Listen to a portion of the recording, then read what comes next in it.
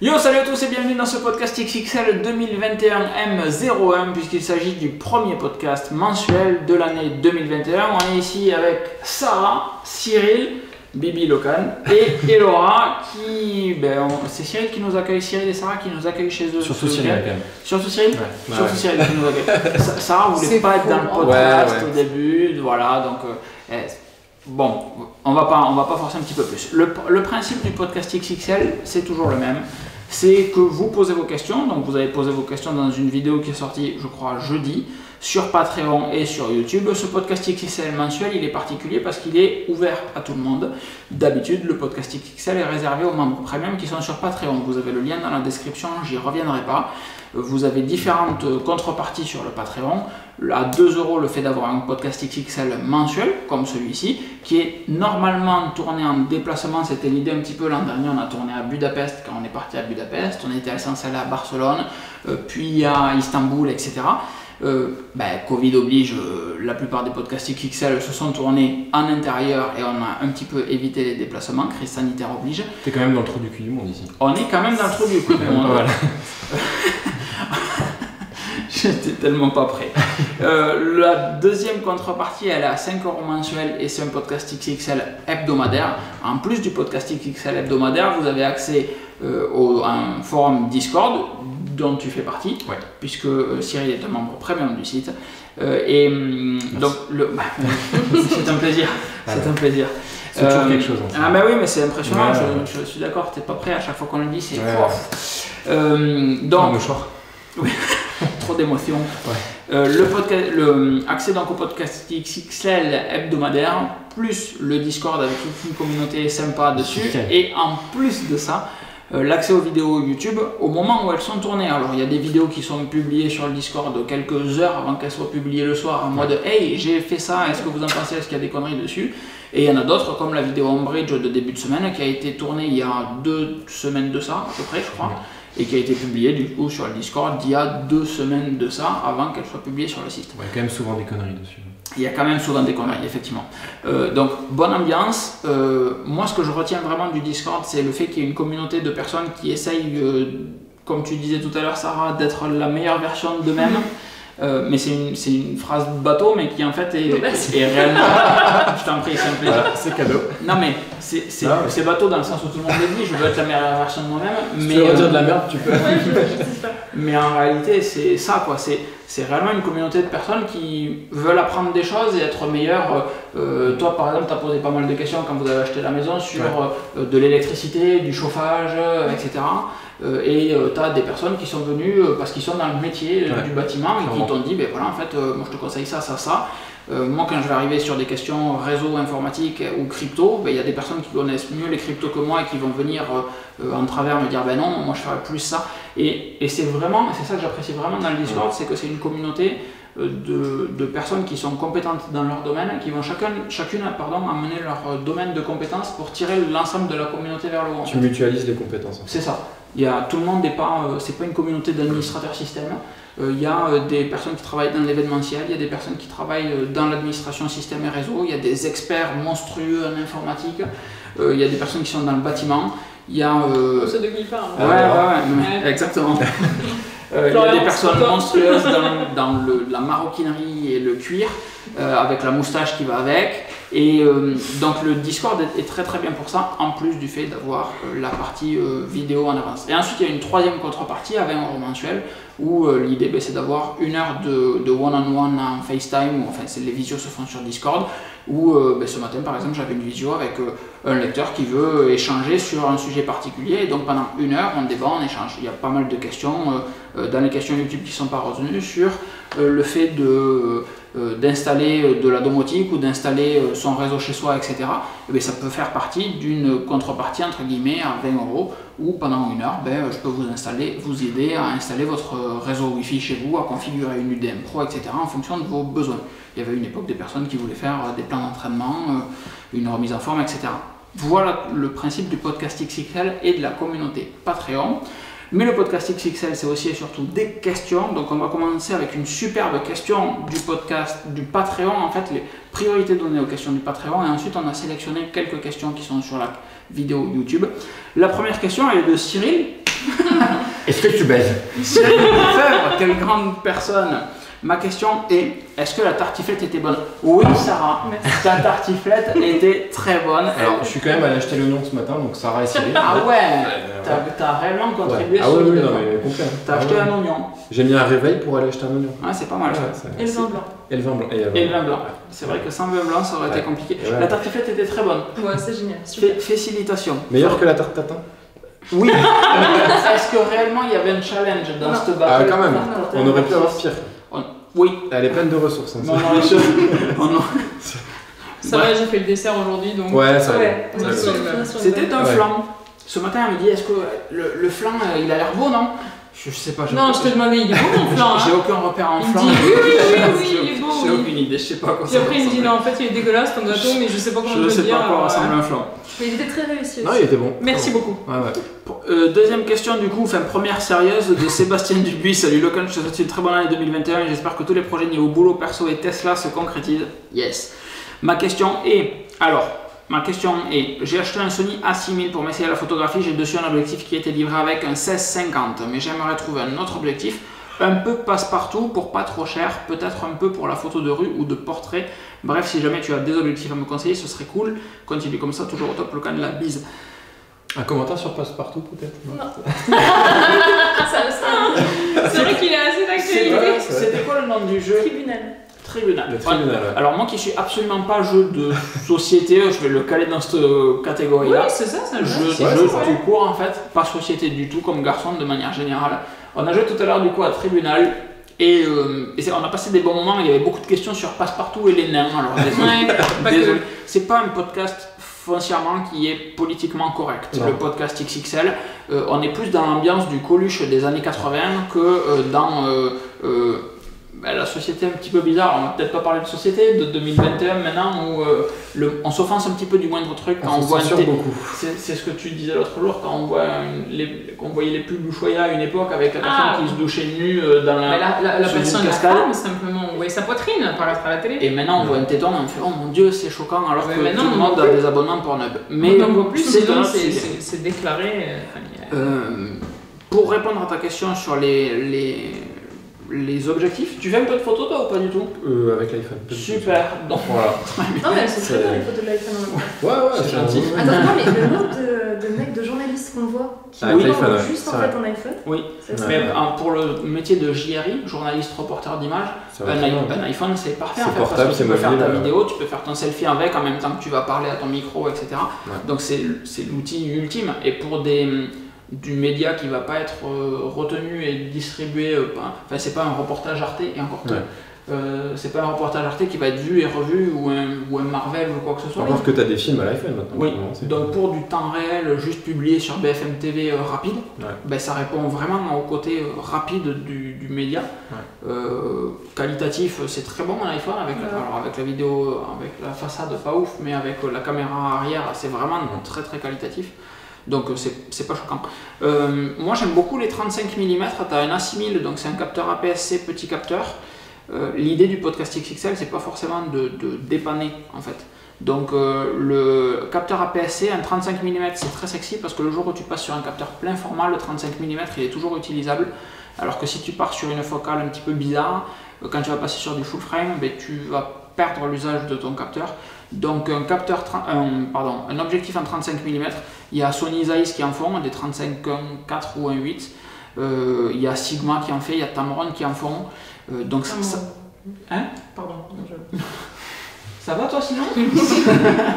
Non, mais c'est que j'avais déjà acheté un objectif Tamron, c'est pour ça que. je- N'hésite pas hein, si tu veux reparticiper. Et du coup. Sigma, rien. Sony Zeiss. Je vais me faxer dans le coin de la 35. caméra. Ils font des très bons disparaître. 35 mm, un 4, donc objectif lumineux qui te permettra de, de faire pas mal de photos. Je penserai à renier la vidéo. euh, sur- Oui, je couperai bien sûr, bien entendu. Euh, Florian Casse, bonjour mesdames et messieurs. À la base, je voulais pas poser de questions car il y a beaucoup trop de gens que j'aime pas autour de cette table, mais bon, Quel petit enfoiré. long objectif pour 2021. Cyril a annoncé qu'il serait sur, sur Discord qu'une heure par jour. Bonne idée, on verra moins c'était Mais conneries. c'est tout à fait à cause de lui que je ne serai plus là beaucoup. Quels sont vos objectifs pour devenir une meilleure personne? Tu vois, comme quoi Vas-y, à toi l'honneur. Sarah, quels sont tes objectifs de 2021 pour être une meilleure personne Merci de nous avoir Ah préparé à la question. ah, mais Avec Euh, plaisir, moi c'est- tu sais, c'est avant tout euh, dans le planning. À chaud. Au, au tac au tac. Eh ben, euh, on en parlait, euh, intégrer tout ce que j'ai appris sur l'alimentation pour être euh, la meilleure version de moi-même. Tu vois, être au, au top Donc de ma mettre en pratique tout ce que tu as appris dans tes formations, c'est ça Exactement. Tu fais une formation 2 Praticien Parce, en parce santé qu'ils ne savent naturelle. pas. D'accord. Voilà. Je vais Et en bouffer du quinoa. Ouais, c'est ça. Ah ouais, c'est- c'est- Ouais, mais tu vas te faire masser et tout aussi. Donc Non, non, non. Non, il a non, d'autres- non, un c'est bouquin fini, ça. d'automassage maintenant. Ah. Non, mais j'ai les avantages sans les inconvénients. Bah, ça. Si tu manges beaucoup de légumes, euh, t'auras peut-être. euh, Tu auras peut-être un massage. Ouais. Si tu manges beaucoup Les de légumes et t'auras les fruits, allez, courage. J'y crois pas trop, ouais. Je... Donc, target de Ouais. 2021, mettre en pratique tout ce que tu apprends sur la partie euh, alimentation. Exactement. Ok. Et alors, Ou punaise, j'étais Ah, pas mais oui, faite. mais, Euh, moi, j'ai pas, de, j'ai pas de projet, moi. Je, je suis déjà parfaite. donc, excellent choix. euh, non, tellement pas. Objectif pour devenir une meilleure personne Euh, 2021. Alors, il y a un pluriel, il y a un pluriel. Donc, si tu en as Ouais. plusieurs, tu peux les jeter. Ouais, ouais, déjà passer beaucoup beaucoup moins de temps sur les écrans, ça me bouffe énormément de temps. Donc euh, iPhone, iPad, ordi, euh, télé même. un Ouais. peu. Plus lire, plus être dehors, euh, plus profiter de ma famille avec mes chats. Et, euh, et puis ouais, euh, peut-être euh, me poser plus, plus passer plus de On temps. euh, rebondit pas dessus. Avec Passer mes chats plus et de- ma femme. voilà. passer plus de temps pour enfin prendre plus de temps. C'était triste en vrai. Non, on va rebondir dessus. Passer plus de temps avec mes chats, c'était c'est- parce que je ouais, pensais en fait au jeu C'est pas un peu bof sur 20 parce que. Le jeu de tout à l'heure, on a quand même tous voté qu'il allait mourir seul avec son Ouais, chat. ouais, hein. ouais. Donc euh, on est bien, on est dans la tendance. Non mais tu vois des fois t'es sur ton écran alors que t'as euh, bah, ta, chérie, chat ta chérie, tes chats qui sont là et qui attendent que tu sois... Oui, ou ta chérie, qui ça, marche aussi. Et ouais je trouve ça dommage en fait d'être dans ton écran et du coup j'aimerais passer plus de vrais moments avec, euh, avec les personnes qui m'entourent. Et puis... euh, La personne. Ouais, ouais. La personne et les La chats. personne et les chats. dire les gens que j'aime, mais non, Non. Non, non, la- Les êtres personnes- humains que j'aime. C'est Non ça. mais peut-être euh, me poser... me poser défoncer plus. du papier d'alu derrière. C'est pas grave. Il a envie de bouffer le C'est le Elle flanc, a ouais. envie de bouffer le flanc. ouais. Non, puis passer plus de temps, euh, prendre plus de temps pour moi, euh, voilà, vraiment des moments, comme tu disais, de qualité, où t'es posé, tu, tu relaxes un peu, t'es pas dans le stress de la vie de tous les jours, dans le, le toujours plus vite, toujours plus, tu, tu souffles un peu, tu profites de la campagne, on n'est pas à la campagne pour rien, donc... euh, C'est vrai que vous êtes super bien, vous êtes à l'extérieur de Toulouse. ouais, Alors, sans prendre vous- du recul et être au sans vous dire où, mais en fait, euh, c'est- ils ont vraiment une petite maison avec des bois autour et, euh, et c'est super agréable. Juste le fait, tout à l'heure quand je suis allé chercher les lumières, etc., juste le fait de sortir et qu'il n'y ait pas de bruit. En fait, juste ça, il fait, il fait bon, il n'y a pas de bruit. Tu sors, tu es dans la nature de suite, c'est pas comme nous où on sort et en fait, euh, ben, on est d'abord sur un palier puis dans un parking, tu vois. Euh, merci. bon. Et, et, et c'est super agréable en fait, Ouais. ce genre de, de- Le cadre, vous avez un super cadre de vie avec. Et justement, on a tout quitté pour ce, ce cadre-là et j'aimerais Ouais. en profiter plus. en fait. Ouais. Et encore, on t'a pas fait aller chercher les œufs au poulet. Ouais, ouais. Mais vu la taille des poules, il y en a certaines qu'il va falloir que tu commences à tuer parce que. elles deviennent énormes, va les il va- manger il au les Ah, mais il y en a, je te jure, c'est des obus qu'elles pondent. hein. Ouais, Mais tu- Un œuf, ça fait une, une omelette. Et le, le matin, tu les entends euh, cacter là tellement, et ça leur fait mal de pondre des trucs, mais des obus, c'est violent. Super. Ah, Ça c'est dit. Ah putain, t'as bien la campagne quoi. Euh, Et donc du coup à ton tour pour les objectifs Objectif euh, sur 2021, alors être une meilleure personne. Un objectif de 2021, c'est pas forcément être une meilleure personne, mais on en parlait il y a deux secondes. Euh, J'aimerais vraiment me concentrer un petit peu plus sur la partie crypto. Mm. J'ai été un gros opportuniste sur, euh, un- durant l'été pour faire des achats intéressants sur la partie crypto et faire euh, de, beaucoup de bénéfices là sur cette fin d'année et début d'année 2021 du coup. Euh, mais euh, il y a une question après sur YouTube que j'ai retenue, mais je ne sais pas analyser une courbe de crypto, etc. Je- C'est juste que c'était bas, ça me semblait pertinent, c'était certain que ça allait monter, enfin ça me semblait certain que ça allait monter. Donc de la même manière qu'Airbus et Safran étaient très bas euh, durant le premier confinement, bon ben j'ai acheté. Ouais. Euh, mais j'aimerais savoir euh, lire une courbe, comme savent le faire certains, pour pouvoir faire un petit peu d'argent euh, avec la partie crypto. Euh, sur la partie euh, meilleure personne, il y a vraiment le, le- ce que tu disais il y a deux secondes, euh, le fait de de- de- d'apprendre davantage de choses en fait, de passer moins de temps sur les écrans. Alors c'est très compliqué, moi j'ai un vrai problème avec ça. Le fait de... J'aimerais que tu pouffes pas quand je dis ça, ça vraiment super bien. Euh, j'ai Ouais, un, vrai problème avec ça, le fait de quand on mange en fait, j'ai le réflexe d'allumer la télé systématiquement. Parce qu'en fait, on mange là, on mange Ouais. devant une télé, on n'a pas une table pour manger. Ça jouerait beaucoup. Mais je te rassure, même quand t'as une table, tu manges devant la télé. D'accord. Et, et du coup, j'ai ce faux réflexe de merde là d'allumer la télé à chaque fois quand on mange. Alors, si c'est un épisode de 20 minutes, tu vois, ça va. Euh, parce que ben, tu regardes ton épisode en même temps que tu manges, et puis quand t'as fini, bon, mais c'est Encore que t'es vite tenté de faire le suivant et le Ouais. suivant et le suivant. Le problème, c'est ce que tu regardes en fait. Tu vois, c'est ce qu'on a vu en cours, une histoire de parasympathique, orthosympathique. Si tu regardes un truc genre BFM ou, euh, ou CNews, enfin un truc un peu violent, Mm. mais en fait, du coup, ton système digestif il fonctionne pas bien et c'est là où tu peux être patraque derrière Oui. et c'est là où c'est con. Mais je trouve que quoi que tu regardes, en fait, même si t'es pas. Enfin, t'es pas concentré sur ce que tu manges, donc du coup, tu t'as Oui, pas la sensation de manger. En fait, tu manges bêtement en regardant ton truc. Ouais. C'est ça. Donc tu fais, tu, fais, tu fais pas gaffe si t'as encore faim, pas faim, si tu...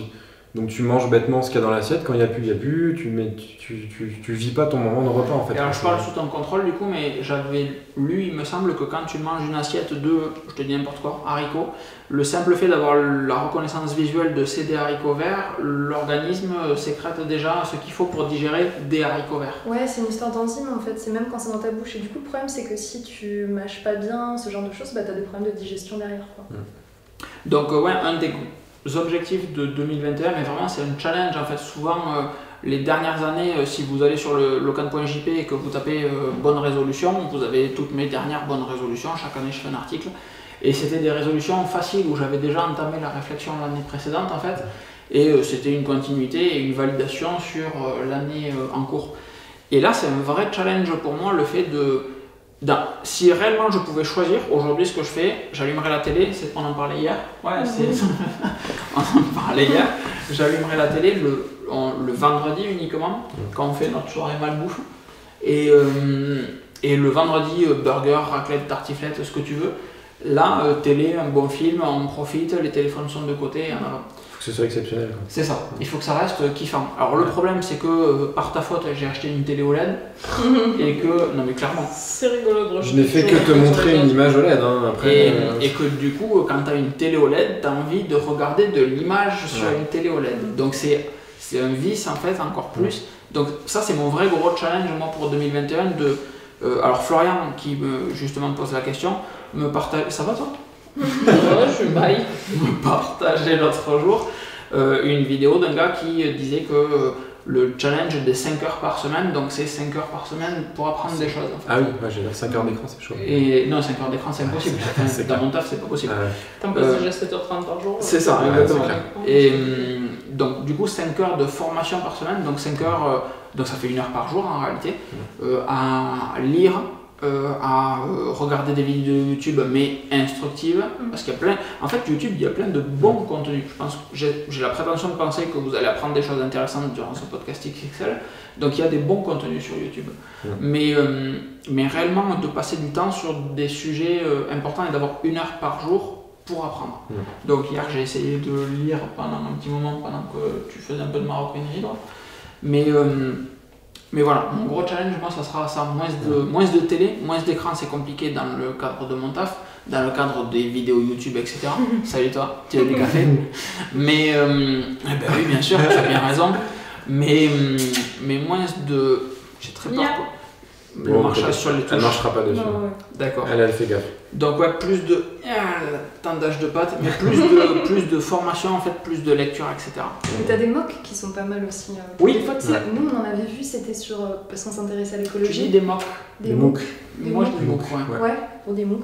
Mais t'en as surtout sur tous les sujets. Nous, c'était le zéro déchet, ouais, voilà. zéro déchet, Tu peux l'écologie. faire des euh, mini-certifs en fait sur un Ouais. sujet que tu as envie de maîtriser. Ouais. Et euh, ça peut aller super vite en fait. En quelques heures, tu te formes. Et du coup, c'est une bonne façon d'apprendre. euh. Ouais. Et alors du coup, il y a un MOOC justement qui est super cool, qui s'appelle... je vois plus mon écran. Qui s'appelle Fun MOOC. Alors MOOC, je ne sais plus pourquoi. Massive, Ma- open, Massive, Open massive Online. online, open classroom. Voilà. Bravo. Ouais. Et donc il y a Fun MOOC qui est monstrueux, donc Fun euh, comme Fun Radio, euh, fun-mooc, M-O-O-C.fr. Et vous avez plein de formations dessus. Et donc sur l'année 2018, j'en ai bouffé une chier. Et vous avez plein de formations euh, de ré- mais je t'en prie, de réseau, de, de formation SST, de. Je t'avais dit qu'il y avait un- peu milieu. De réseau, de formation SST, euh, de, de marché public. de- Il y a réellement plein de sujets dessus. Ouais. C'est gratuit. Ça vous permet d'avoir des formations et des certifications reconnues. euh, alors vous n'avez pas, pardon, vous avez pas des certifications, mais vous avez une, une attestation de formation sur la Ouais. plupart de ces MOOC. Disons que tu seras Mais c'est pas expert tu dans les domaines, mais tu seras un minimum compétent. Mais il y, en a, Tu il y en euh, certaines qui sont réellement chauds et à un très très Ouais. bon niveau. Il y en a en administration réseau qui sont faits par le- l'école des mines. Euh, ils font Ouais. pas rire. Quoi. Mais l'idée, nous, qu'on s'en faisait, c'est plutôt tu veux approfondir un minimum un sujet Oui. plus plus, tu le fais. Tu seras pas expert euh, comme si tu avais fait deux ans d'études dessus, mais déjà tu es calé sur le sujet. Ou avoir des bases sur un sujet que tu connais pas, c'est très ouais. intéressant Tu aussi. peux avoir des exercices, un peu de pratique et pas que de la théorie en Oui. fait. Et du coup, Fun-MOOC, c'est super intéressant pour ça. Ça vous permet, pour l'avoir euh, euh, mis en place et, et- et pratiqué, euh, d'avoir des attestations de formation qui sont réellement reconnues par les employeurs. Après, quand vous allez euh, euh, postuler dans un autre taf, euh, sur votre CV, vous pouvez mettre que vous avez suivi, euh, que vous avez une attestation de formation de marché public, de euh, qu'est-ce que j'ai là sur la page d'accueil, d'agroécologie, de décentralisation des collectivités territoriales, de collection physique, de collection mathématique, des fondamentaux des marchés publics, euh, femmes et territoires ruraux en Europe.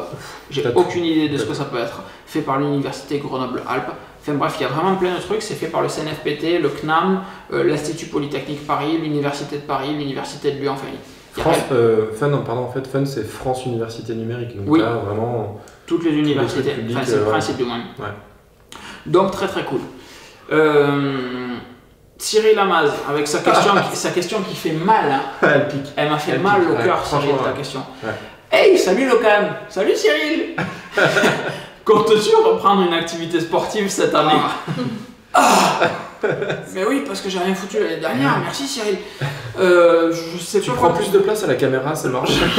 Même avec le grand angle, tu prends la moitié de l'image. Je sais pas quoi te dire. Je, si j'ai repris, euh, alors sur la moitié de l'année, euh, j'ai un petit peu arrêté de faire du sport, Euh, mais je, je pensais pas être devenu énorme. Désolé.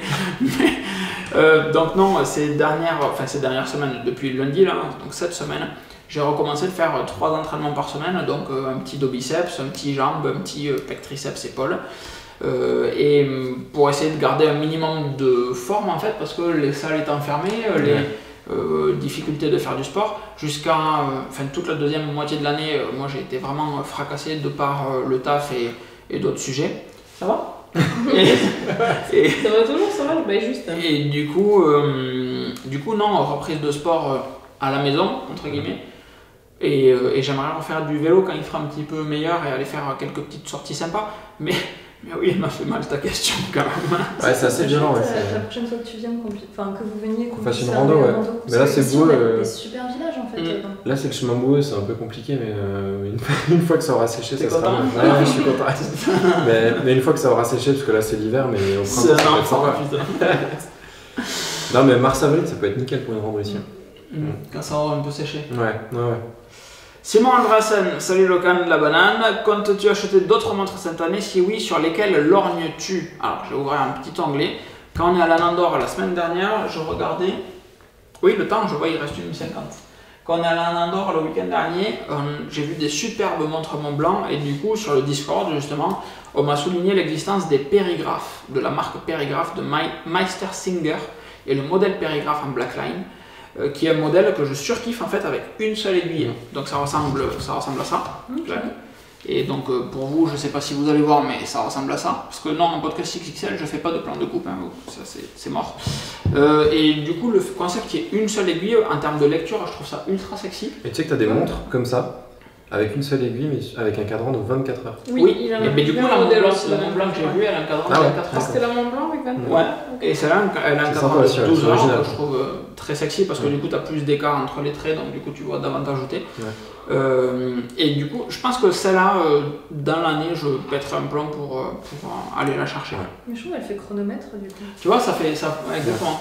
Mais en soi, c'est pas con, l'idée c'est pas con parce qu'en soi, le cadran de 24 heures, enfin, tu sais très bien Les voir deux si aiguilles, ça sert à soir. rien, Donc euh, oui. voilà, tu, un cadran de 12 heures, tu sais si t'es le matin, enfin plutôt euh, antéméridien ou post-méridien, et après tu sais quelle heure il est. C'est quoi tu dis Ouais. Ah, Et t'as pas besoin forcément des limites, quoi. C'est c'est du plus, mais globalement, tu sais. Ouais, on est ça t'évite de courir après le Tu temps. les as les c'est- minutes du coup à 10 minutes près, tu sais où t'es. En fait, Ouais, ça suffit juste à savoir euh, Ouais. quelle heure c'est.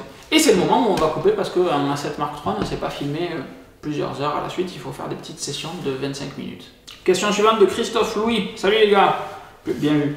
Salut les gars, plutôt galette frangipane ou plutôt couronne briochée. Alors, tu peux euh, le bannir, lui de- On peut. Ah, pourquoi Alors attention, attention, Ah ouais. plutôt quoi, team quoi Ah bah nous on est galette frangipane. Ah, on mais si, moi bah, aussi, ça va. Chez nous, il y a que ça. Frangipane, Ah c'est ouais. bon. Non mais courant Alors, la brioché. couronne briochée, on est d'accord que c'est la, la grosse galette gonflée et la frangipane. C'est pas une le galette, c'est avec- pas une- c'est de la brioche. La couronne briochée c'est ce que tu vas accrocher à ta porte d'entrée. et la galette frangipane c'est ce que tu vas manger. On sent que c'est un sujet important Ah ouais, la ouais, non, frangipane, ouais. la galette à la frangipane, Ah ouais, elle est ouais, pleine. non, la couronne briochée, c'est une couronne avec un trou au milieu, c'est de la Exactement. brioche avec une fève Ça plantée dedans. Je suis plus galette frangipane. Ouais, galette Ah, frangipane. c'est que une ça soit un galette podcast un petit peu inclusif aussi quand Bon. même. Ouais, ouais mais galette frangipane à la limite avec une petite couche On de, aime bien les gens qui aiment la compote de pommes, de... tu vois, euh, qui adoucit. Ah, mais c'est juste la déception. voilà. frangipane, c'est la vie. Quand enfin, Une couronne briochée, là, c'est un truc pour le petit-déj, c'est pas de la galette. C'est un truc du En sud. Lorraine, clairement, euh, il n'y a que la galette frangipane. Bah oui. Quand on est arrivé dans le sud et qu'on nous a dit la première fois, ouais, allez, on va se faire la galette entre collègues, des trucs comme ça, et qu'on nous a ramené une brioche, on avait un peu l'impression de s'être fait flouer. Fout de Ah la ouais, ouais, ouais, ça. Mais je dis pas, enfin, c'est c'est vraiment pas mauvais en fait la brioche. C'est juste que c'est pas Non, elle est bonne, on mais s'attend. C'est pas ouais. ta tradition. Moi, personnellement, pareil, ouais, je suis comme toi, la galette. euh, Non, Bon, galette. La galette des rois, c'est la De galette toute à la façon, voilà, une galette des rois, c'est une galette quoi. C'est comme si demain à la chandeleur des crêpes on te fait une tarte tatin quoi, ça n'a aucun sens. il y a pas Ça de- dépend de la tarte Surtout si, tatin. voilà, Oui. en fonction de la tarte Oui, voilà, c'est un ça peu une crêpe, mais- Après, on n'a pas grandi ici, tu vois, peut-être c'est la tradition et qu'ils n'ont pas l'habitude. Ouais, mais Mais ce qui est en marrant, c'est que toujours quand tu prends la. France au global, t'as la France et t'as ici. Et ici, ils appellent toujours les choses différemment. Donc moi, je prends la France au global. On est quand même venu s'intégrer ici, enfin tu vois. Ouais, ouais, ouais, au bout d'un moment, faudrait pas faire chier non plus. Bah, Parce que ta maison, il y a du bois partout, moi je t'y fous le feu, c'est pas grave, bien sûr. Hein. Moi je suis prête à vrai. chocolatine, Très bien, excellent. mais juste la galette pour nous ça reste la Oui, mais tu dis Moi, je suis d'accord, la galette à la Je suis frangipane, prêt, c'est la je vie. Chocolatine, d'accord. Mais demain, on retourne en Lorraine, tu diras pas euh, je vais prendre deux chocolatines, tu vas dire pain au chocolat. Parce Non, que c'est pas c'est de toi, c'est ton essence quoi. Hein. Mais par respect pour les gens. Moi, je m'adapte, je Ouais. veux pas bourrir, juste. C'est ça, tu viens chez les gens, tu t'adaptes à leur coutume. Oui, oui, tout à fait. Très bien. Et bien c'est sur cette. J'aurais pas cru que ça serait... il y aurait autant de débats sur cette question. La la frangipane, c'est tellement bon. JB qui nous demande Hello, avocate la forme? Super Toujours. Oui, Nickel. Bon, ben impeccable. Euh, petite question pour Cyril. Es-tu content de ton système focal Cochon va? C'est écrit Cochon va. J'ai vu. Qu'est-ce qui t'a donné envie de te tourner vers cette marque et qu'envisages-tu comme évolution prochaine?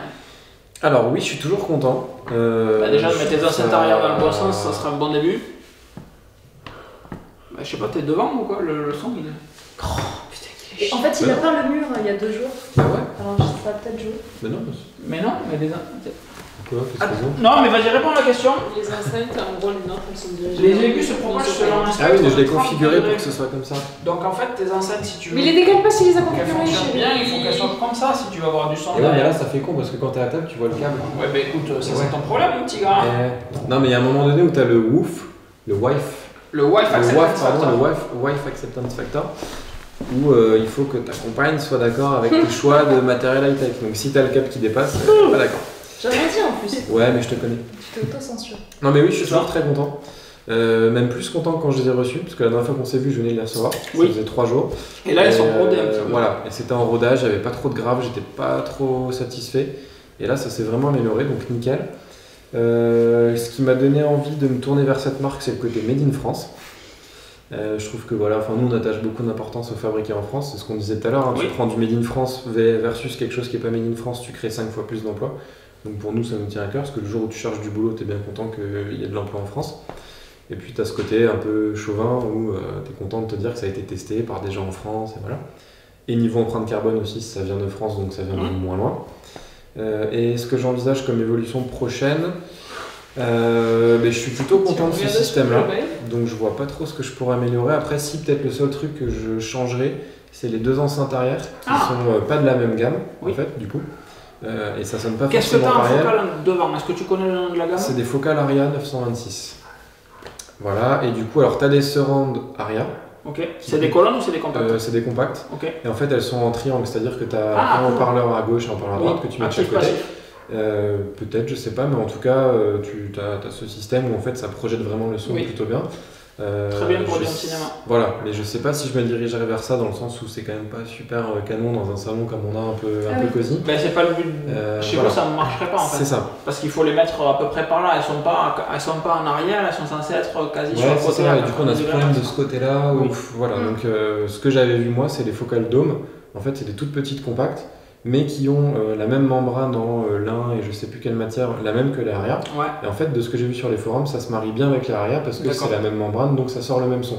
Ça fait euh, la taille d'une euh, voilà, une petite enceinte compacte et pourquoi pas les mettre de part et d'autre du canapé cool, pour gagner en place, pour supprimer tout ça. Ouais. Fixer au mur, faire un peu plus stylé, avoir une homogénéité dans le son. Et puis Et même, tu pourrais la poser là-dessus Ouais, contre le mur, en fait, ça rendrait super bien. Carrément. Une là, une, une accrochée là, avec la même membrane, ça fait le son homogène. Voilà, pourquoi pas. Ça permettrait de dégager ça qui prend pas Ouais, mal de place. euh. Ça peut être sympa. Mais... C'est pas trop massif. Non, justement, c'est plus petit que ça, c'est l'intérêt.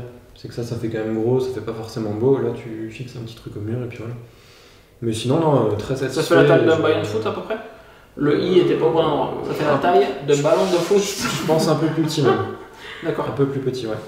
Donc ouais. Mais bon plan. voilà, pour hom- homogénéiser le son et, euh, et avoir un truc stylé, plus discret. Bon alors je t'ai chambré pendant un petit moment sur le fait parce que pendant longtemps tu avais ces, en- ces enceintes là enceintes à l'avant. ce qui s'appelle des enceintes du coup à l'avant Ouais. et donc j'ai chambré Cyril pendant en fait, depuis la première fois que j'ai vu ces enceintes et donc là il a des grosses colonnes des vraies colonnes d'adultes c'est bon il, a, il est plus dans sa chambre et, hum, et quand on est rentré l'autre jour on- qu'on a remis euh, donc on est venu chez vous euh, il y a un mois et demi Ouais, deux mois. c'est ça. ouais.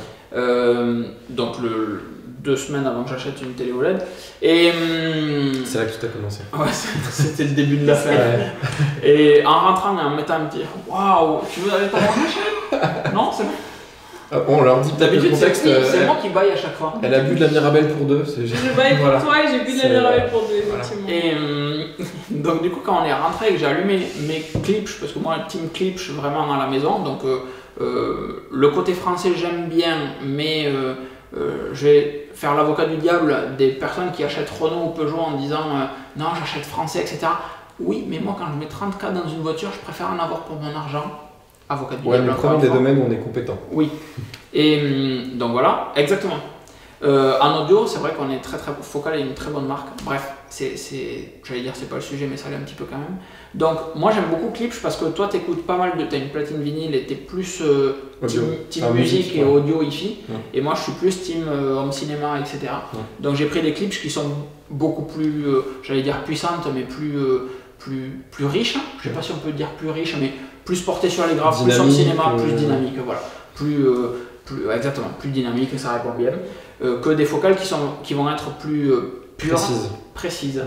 Et quand on est rentré à la maison l'autre jour et que j'ai allumé la télé, je fais Ouais, tu lui diras pas, mais, euh, mais ces focales elles sonnent mieux quand Non, mais même. après, si, enfin, si je peux. Et en, et en vrai, ouais, ces focales sonnent quand même vraiment bien. Après, Sur le, sur le son, quand tu es en home cinéma, ce qui est important aussi, c'est vraiment que les enceintes soient adaptées vraiment pour un mode justement home cinéma. Mm. Parce que pour avoir eu différents. J'ai eu des barres de son Bose, j'ai eu des home cinéma Bose. Attends, je vais vomir. Parce que... Et en fonction. Ouais, Ah, je mais les ai bon, aussi, après, je les ai aussi. Voilà. Après voilà, c'est- tu Oui, fais non, des mais- tests en fonction des différentes Ouais, marques. Et, et vraiment, il y en a certaines où enfin, je sentais vraiment qu'elles n'étaient pas adaptées pour le home cinéma, la partie home cinéma. C'est-à-dire que enfin, tu regardes un film, tu te sens obligé de monter le son dès qu'il y avait un dialogue, Mm. parce que le, la barre de son ou quoi n'était pas- adaptée vraiment pour le côté home cinéma. Ouais. Donc elle ne savait pas adapter euh, le- la voix euh, du dialogue et la musique.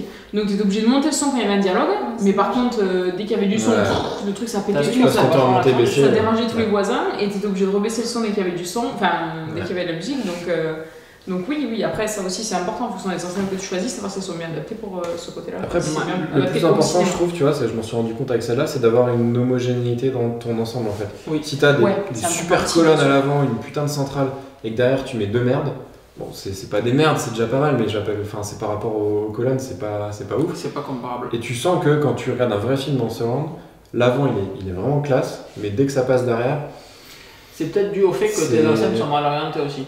Ouais, encore, je, je, je trouve que as, vu que t'as pas la même membrane, en fait, t'as pas la même euh, tonalité dans les sons, et tu sens que, par exemple, l'hélicoptère qui va passer de là à là, il aura pas du tout le même son là que là, en fait. Et Oui, ce qui est important, du coup, c'est d'avoir glo- globalement la même gamme d'enceintes, pour que même si c'est pas ouf, que t'es pas dans du très haut de gamme, t'aies quand même la sensation que c'est c'est le même hélicoptère cohérent. qui tourne, quoi. C'est cohérent, voilà, c'est ça.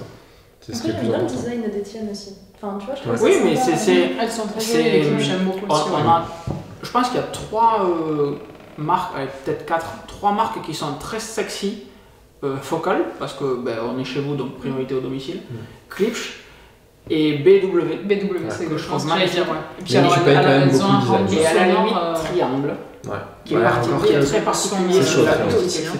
Mais Mais euh, Focal euh, Klipsch BW, j'ai jamais entendu de BW, donc j'ai aucune idée Alors, de ce que ça moi, donne en pour en de avoir entendu, justement, il est très très qualitatif. Enfin, euh, vraiment, des, ben, c'est ce que je t'avais dit, là, les, Mm. les grosses grosses enceintes à plus de 3000 euros pièce. Mm.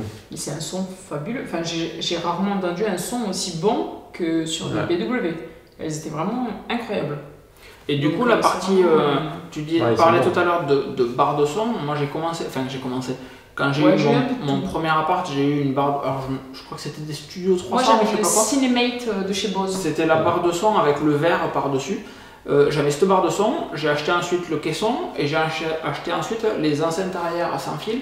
Alors ce qui est cool, c'est que le système est évolutif. Tu achètes ta barre de son, tu te rends compte qu'en fait le son est nul, donc tu mets un caisson euh, pour avoir au moins des graves parce que la barre de son ne sait pas faire de graves à la différence C'est de dur nos dans une colonnes. barre de son. Oui, il y a pas les graves en fait, il faut du Faut volume, il faut un truc ouais. qui vibre en fait. Ça. Donc euh, s'il n'y a rien qui vibre, si c'est compact, ça ne marche pas. Il y a des bons aigus, des bons médiums, mais c'est tout. Euh, donc barre de son, plus ampli, plus caisson, pardon. Et ensuite j'avais mis les retours arrière, et là effectivement tu te dis, ah oui c'est cool, mais barre de son plus euh, ampli, le son fait, euh, ben, un, bon euh, 180 degrés devant, à peu près. Tu arrives à bien déterminer euh, de, de là à de là, quoi. T'as vraiment le retour derrière, tu l'as, c'est bon. J'allais dire juste là, un Et, euh, mais bon. Et le caisson de grave qui permet d'amener des graves justement, mais sur ta conf comme la mienne, la particularité c'est qu'on a des. Alors toi tu as un système en 5.0, Ouais. euh, moi j'ai un 5.0.2 et la différence, c'est, enfin le 5.0, donc 5 c'est 5 enceintes sur le plan, le deuxième chiffre c'est- le caisson, donc Ah, le 5.0, caisson, donc on a tous les deux aucun caisson de grave parce qu'on a des enceintes qui sont basse réflexe tous les deux et qui Et produisent énormément de basses. Alors je sais pas où descendent les tiennes, je sais que les miennes descendent trop bas en fait, c'est c'est vraiment euh, masturbatoire. Ben, L'épisode d'hier soir, juste quand Ah on ouais, c'était- de, de Breaking Bad. Breaking Bad. C'était Euh, quand hallucinant, il y j'étais a dans sa caisse et de tout, partout. là, genre, Ouais. Putain, mais tellement tout qui grave. c'est- On a halluciné, ouais. c'est du système qui est. Enfin, franchement, tu pourrais sonoriser des salles de cinéma, je pense, avec un préampli qui va bien. Celle-là, je me souviens, j'avais le caisson de basse avant. Ouais. Celle-ci descend moins bas que le caisson Ah de t'as que changé j'avais. J'ai viré le caisson de basse. D'accord, je me J'ai j'ai pas de ça, carrément viré parce qu'elles descendent moins bas que le caisson de grave, mais c'est plus qualitatif. Et je préfère avoir des basses qui descendent moins graves mais qui sont meilleures C'est plus agréable, oui, voilà. qu'un caisson. Alors le caisson que j'avais c'était le, le Focal Cube, hein, pour Ouais. ceux qui connaissent, c'est le truc euh, basique qui doit valoir peut-être 200 balles. Mm. Et du coup les basses sont pas forcément bonnes, donc je préfère que ça descende Mm. pas trop bas mais que ce soit très bon, plutôt que d'aller très bas dans les graves mais que ce soit baveux, un peu. C'est ça. voilà. Et la différence, moi ce que j'apprécie énormément, c'est que tu as la sensation d'avoir deux caissons de grave, ton grave est réparti dans ta pièce, Ouais. alors qu'avec un caisson, Tu alors à mon ancien, dans mon ancien appart j'avais une salle ciné et j'avais mis le caisson derrière moi, Ouais. donc euh, bah, tu sais pas d'où viennent les graves en fait, c'est bien réparti. Quand tu as un caisson devant, l'immense majorité du temps tu arrives quand même à déterminer d'où viennent les graves, même Ouais. si les graves se propagent assez bien. Ouais, puis je trouve que c'est un caisson, en fait, t'as vite fait d'être dans le too much, et du coup, bah, tu, ça va Oui. être un peu baveux, un peu gras, un peu. Parce que t'as envie, t'achètes un caisson, t'as envie que ça fasse boum Ah boum, ben oui, que oui, voilà. Mais du coup, t'as vite fait d'être dans le, dans le too much. Bah, c'est là qu'il faut régler ta fréquence de coupe. Et ouais, mais c'est très dur, c'est très dur de le faire parce que. Et, en plus, Mm. moi je l'avais fait euh, assez justement, je pense, mais du coup, selon ce que t'écoutes, si t'as un film un peu euh, qui envoie, t'as envie d'avoir plus de basses. Des fois, t'as un film où il y a que des dialogues, bah là, tu trouves que les dialogues sont trop Mm. graves, t'as envie d'avoir moins de basses. La musique, selon ce que t'écoutes, du classique, tu vas avoir moins de basse parce que t'as pas besoin. Du rap ou du hip-hop, t'as plus. Enfin, Ouais. t'es tout le temps en train de le régler, c'est chiant. Juste, moi, je préfère avoir quelque chose qui fait bien le taf et sans que ça descende trop bas. mais voilà, ça sait le gérer, ça sait le faire, t'as un bon musique. ressenti. Peut-être que tout ce qui est en dessous de, euh, je sais pas, euh, 35 ou 40 kHz, je le 40 Hz, je le perds.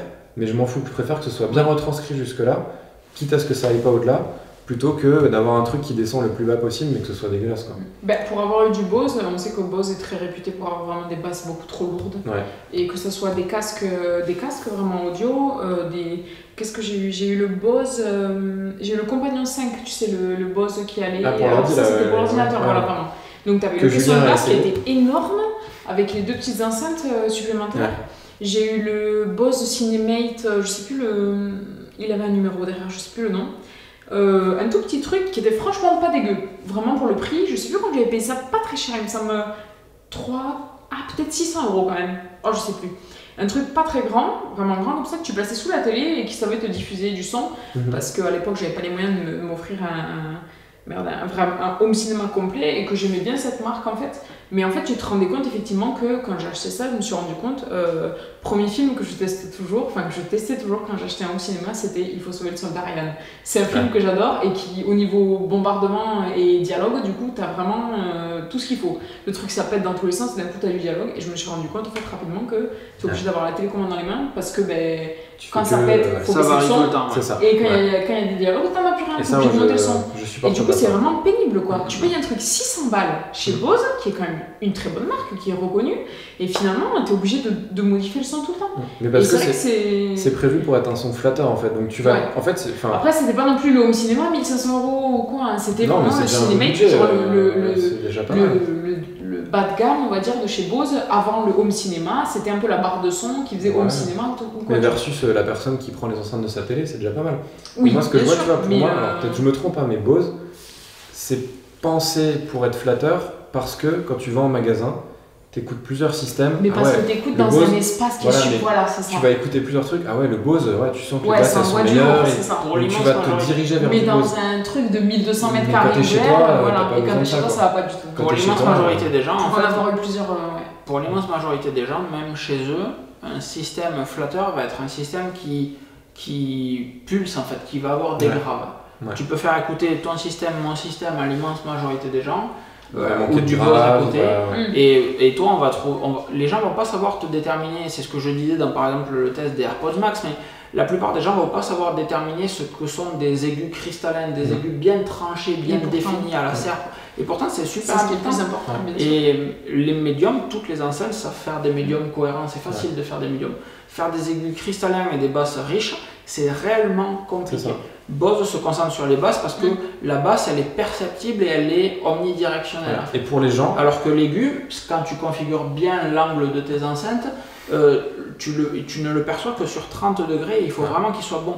Tes enceintes sont monstrueuses sur la partie aiguë, Ouais. les miennes sont un peu moins bonnes, elles sont meilleures sur la partie dans ton calendrier quand elles même. sont, non, non, elles, sont, elles sont meilleures sur la partie grave. Tu vois, pendant que vous discutiez, je cherchais les specs de la mienne.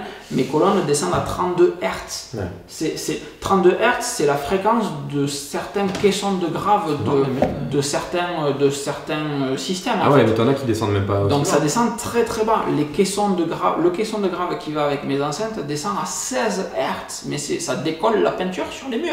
Ouais. C'est, délirant. Donc, euh, euh, sans vouloir passer trop de Ouais, temps sur cette les question, parce que ça fait un petit moment qu'on est dessus, mais, euh, mais un, un système home cinéma, c'est, c'est réellement compliqué à définir. Il y a une notion d'homogénéité qui est importante. Tu vois, je suis 45 Hz. moi. Tu vois, 45, Puis il y a aussi ce que les gens aiment. 45, 32, tu vois. t'imagines le gap, c'est Ouais. monstrueux. Ouais, ouais. Mais tu vois, les gens, en fait, enfin, je dis les gens, c'est pas pour dénigrer, mais quand tu connais pas grand chose, pour toi, un bon système audio, c'est ah ouais, je sens les basses, là, ça Ouais, ça. dedans. Mais C'est pour ça classe. que j'ai eu en du fait- Bose. Moi, j'ai eu ça, j'ai eu ce donc, système euh, là où j'avais au début un truc Logitech 5.1, ça tabassait vraiment, c'était ça. des Z de Et au 100 000, final, 500 tu pour ceux qui connaissent. c'est relou quoi. Voilà, ça, vite. ça- ça cogne vite, mais en On fait, quand tu l'écoutes les une heure ou deux heures, ça. T'es là, tu te dis, ah non, mais là c'est fatigant quoi. Et après, quand tu passes une étape au-dessus, tu te rends compte que c'est pas la, quantité de basses qui fait tout, c'est euh, vraiment la, qualité en fait de retranscription de tes basses. Et c'est là où en fait tu passes un, un- gap en fait, c'est que c'est pas parce que ça fait boum boum que c'est du bon son. Mais c'est ça. Si, le, si la personne qui a masterisé ton film, ta musique ou quoi, veut pas que ça fasse boum boum, il faut pas que ça fasse boum Mais boum. Et Bose va te mettre du boum boum partout. Ouais, Voilà. Bose, c'est toujours bon. Bose, Mais tu vas écouter le- même- Même du classique, Bose. Bose, ils vont avoir tendance sur les notes de piano grave à te faire du boum boum. Mais non, non en fait, c'est- pas ça. C'est pas comme ça que ça marche. quoi. C'est- Il faut que ce soit Et c'est là que j'avais été agréablement surprise quand je t'ai dit que j'avais testé là, des, des enceintes de chez BW il y a quelques années, du coup, qui coûtaient genre 5000 euros pièce. Bon, après, c'était des musiques enregistrées avec un diapason d'or, etc. Enfin, vraiment des trucs euh, Ouais, haut de gamme. ouais. Où tu écoutes ça. Moi, ce que je faisais, chaque fois que j'allais dans une boutique pour essayer des enceintes, c'était j'écoutais du piano. Hmm. Parce que les enceintes qui sont vraiment qualitatives, elles sont capables de te reproduire les plus hauts octaves des pianos, quasiment, euh, quasiment on va dire, parce ça. que c'est quand même très très haut. Et si j'écoutais une, une musique, dès que tu montes un peu le son et que ça grésille, toi tu dégages. Hmm. Bon, souvent de fois tu tapes du coup à des trucs qui, qui ont un certain prix. Souvent de fois. Mais euh, oui, alors bon, c'est le Ouais. grand débat. Je le dis toujours souvent de fois. Je sais pas d'où ça vient, si ni même ça existe. Mais voilà. et et c'est vrai que BW pour ça par contre ils sont hyper qualitatifs. Ouais, Enfin, mais tu vois, piano, Descendre bas dans les écouté des musiques euh, magnifiques. descendre bas dans les graves, c'est pas gage de qualité en fait. C'est pas ce qui va coûter cher dans une enceinte. Et c'est Descendre pour bas, ça tu que peux le descendre piano dans les aigus, C'est ce qu'il y a de plus beau C'est si ça. tu veux tester la, la, Quand tu, la qualité tu vas voir la qualité d'une un enceinte piano. à la précision des aigus Hum, et aussi à la précision des graves. Mais c'est pas parce qu'elle descend bas qu'elle va être qualitative. Non, c'est vraiment hein. le, Mm, mm. la qualité de retranscription. Mais c'est dur à ça. sentir en fait. Faut, faut, je faut coupe comparer. un euh, instant, les tiennes c'est les trois voix du coup. Ouais. De ce que je vois en que termes de pavillon. Ah ouais, elles sont rapport au capables aigu, nombre de- médium et bah. Elles sont capables de. Il y a trois membranes distinctes en fait, Ouais. si tu veux. Ouais. Ah oui, à la maison, on en a que deux. C'est du deux voix. Et en fait, c'est là une approche différente, en mode européenne, pour finir là-dessus, parce qu'on passe quand même pas mal de temps sur les enceintes. Mais on est des passionnés, donc euh, oh, ça pourrait durer Bah, longtemps. c'est intéressant, oui, la musique, c'est Je- vrai que c'est quand même très mélieu. Premier Enfin, truc avant de conclure, c'est le euh, ce que disait Pepe Garcia, ou je sais plus où c'est que j'avais lu ça, euh, ou entendu ça, mais l'audio, c'est tout ce qu'on dit depuis tout à l'heure en mode passionné, réellement, les aigus, les médiums, machin, mais euh, c'est l'audio, c'est exactement la même chose que le vin ou l'alcool. Oh, l'alcoolique quoi. Très bien, excellent choix, chérie. C'est le moment d'avoir le. C'est-à-dire que en fait ça s'apprend, euh, c'est pas euh, quand on se met devant une paire d'enceintes, c'est pas quelque chose qui va vous frapper à la tronche de ah oui mon dieu c'est aigu, il avait raison l'autre con dans sa Ah bah vidéo. non, oui, ça, clair. ça, il faut écouter différents systèmes Mm. de son et il faut tendre l'oreille réellement, il faut, il faut se crisper, il faut essayer, hein, il faut essayer de comprendre, il faut essayer d'entendre les différences de la même manière que quand vous allez euh, siroter réellement avec modération un peu de vin, euh, vous allez Comme midi. Exactement. Vous allez sentir sur un blanc qui va être Tu un petit peu calcaire ou pas, sur un rouge qui va de être euh, avec des accents de chêne ou de terre ou de, de fruits rouges, de mûres, de, etc. Et, et c'est la même chose en fait sur de l'audio. Il faut réellement se concentrer, s'appliquer. C'est pas quelque chose qui vient en une écoute, ça vient Ouais. au fur et à mesure du temps. Tu t'éduques en fait. Soit c'est exactement, soit c'est quelque chose qui vous intéresse et je vous encourage très fortement, je pense toi aussi, à vous y intéresser parce que ça vous permettra de passer des moments incroyables euh, quand vous allez regarder du, ou enfin écouter de l'audio ou regarder de la vidéo. Euh, mais, mais ça s'apprend. Ouais. Euh, L'autre point, du coup, c'est que euh, la mode européenne, c'est d'avoir une membrane qui va euh, pousser un type de son. Donc les tiennes sont des trois voix, c'est-à-dire qu'il va avoir, euh, j'ai l'impression, deux membranes pour faire les graves, une membrane pour faire les médiums, une membrane pour faire les aigus, et chaque membrane est spécialisée dans un spectre audio, si vous voulez. Sur les clips, qui sont celles que j'ai à la maison, euh, c'est des enceintes deux voix, c'est-à-dire qu'il va y avoir aigu et médium grave. Et euh, il y a deux, deux enceintes, deux membranes en fait, mais qui sont exactement les mêmes et qui vont reproduire tout le spectre du grave, du 32 Hz, jusqu'au peut-être euh, 12 000 ou 15 000 Hz. Et, et ça, c'est plus l'approche américaine de la chose où on fait une membrane, un petit peu comme le tympan, si vous réfléchissez. On fait une membrane qui va savoir euh, renvoyer toutes les fréquences de son. Parce que, encore une fois, en face, il y a un tympan qui est une seule membrane et qui sait accepter toutes les interfaces de son, toutes les, les- les fréquences de son.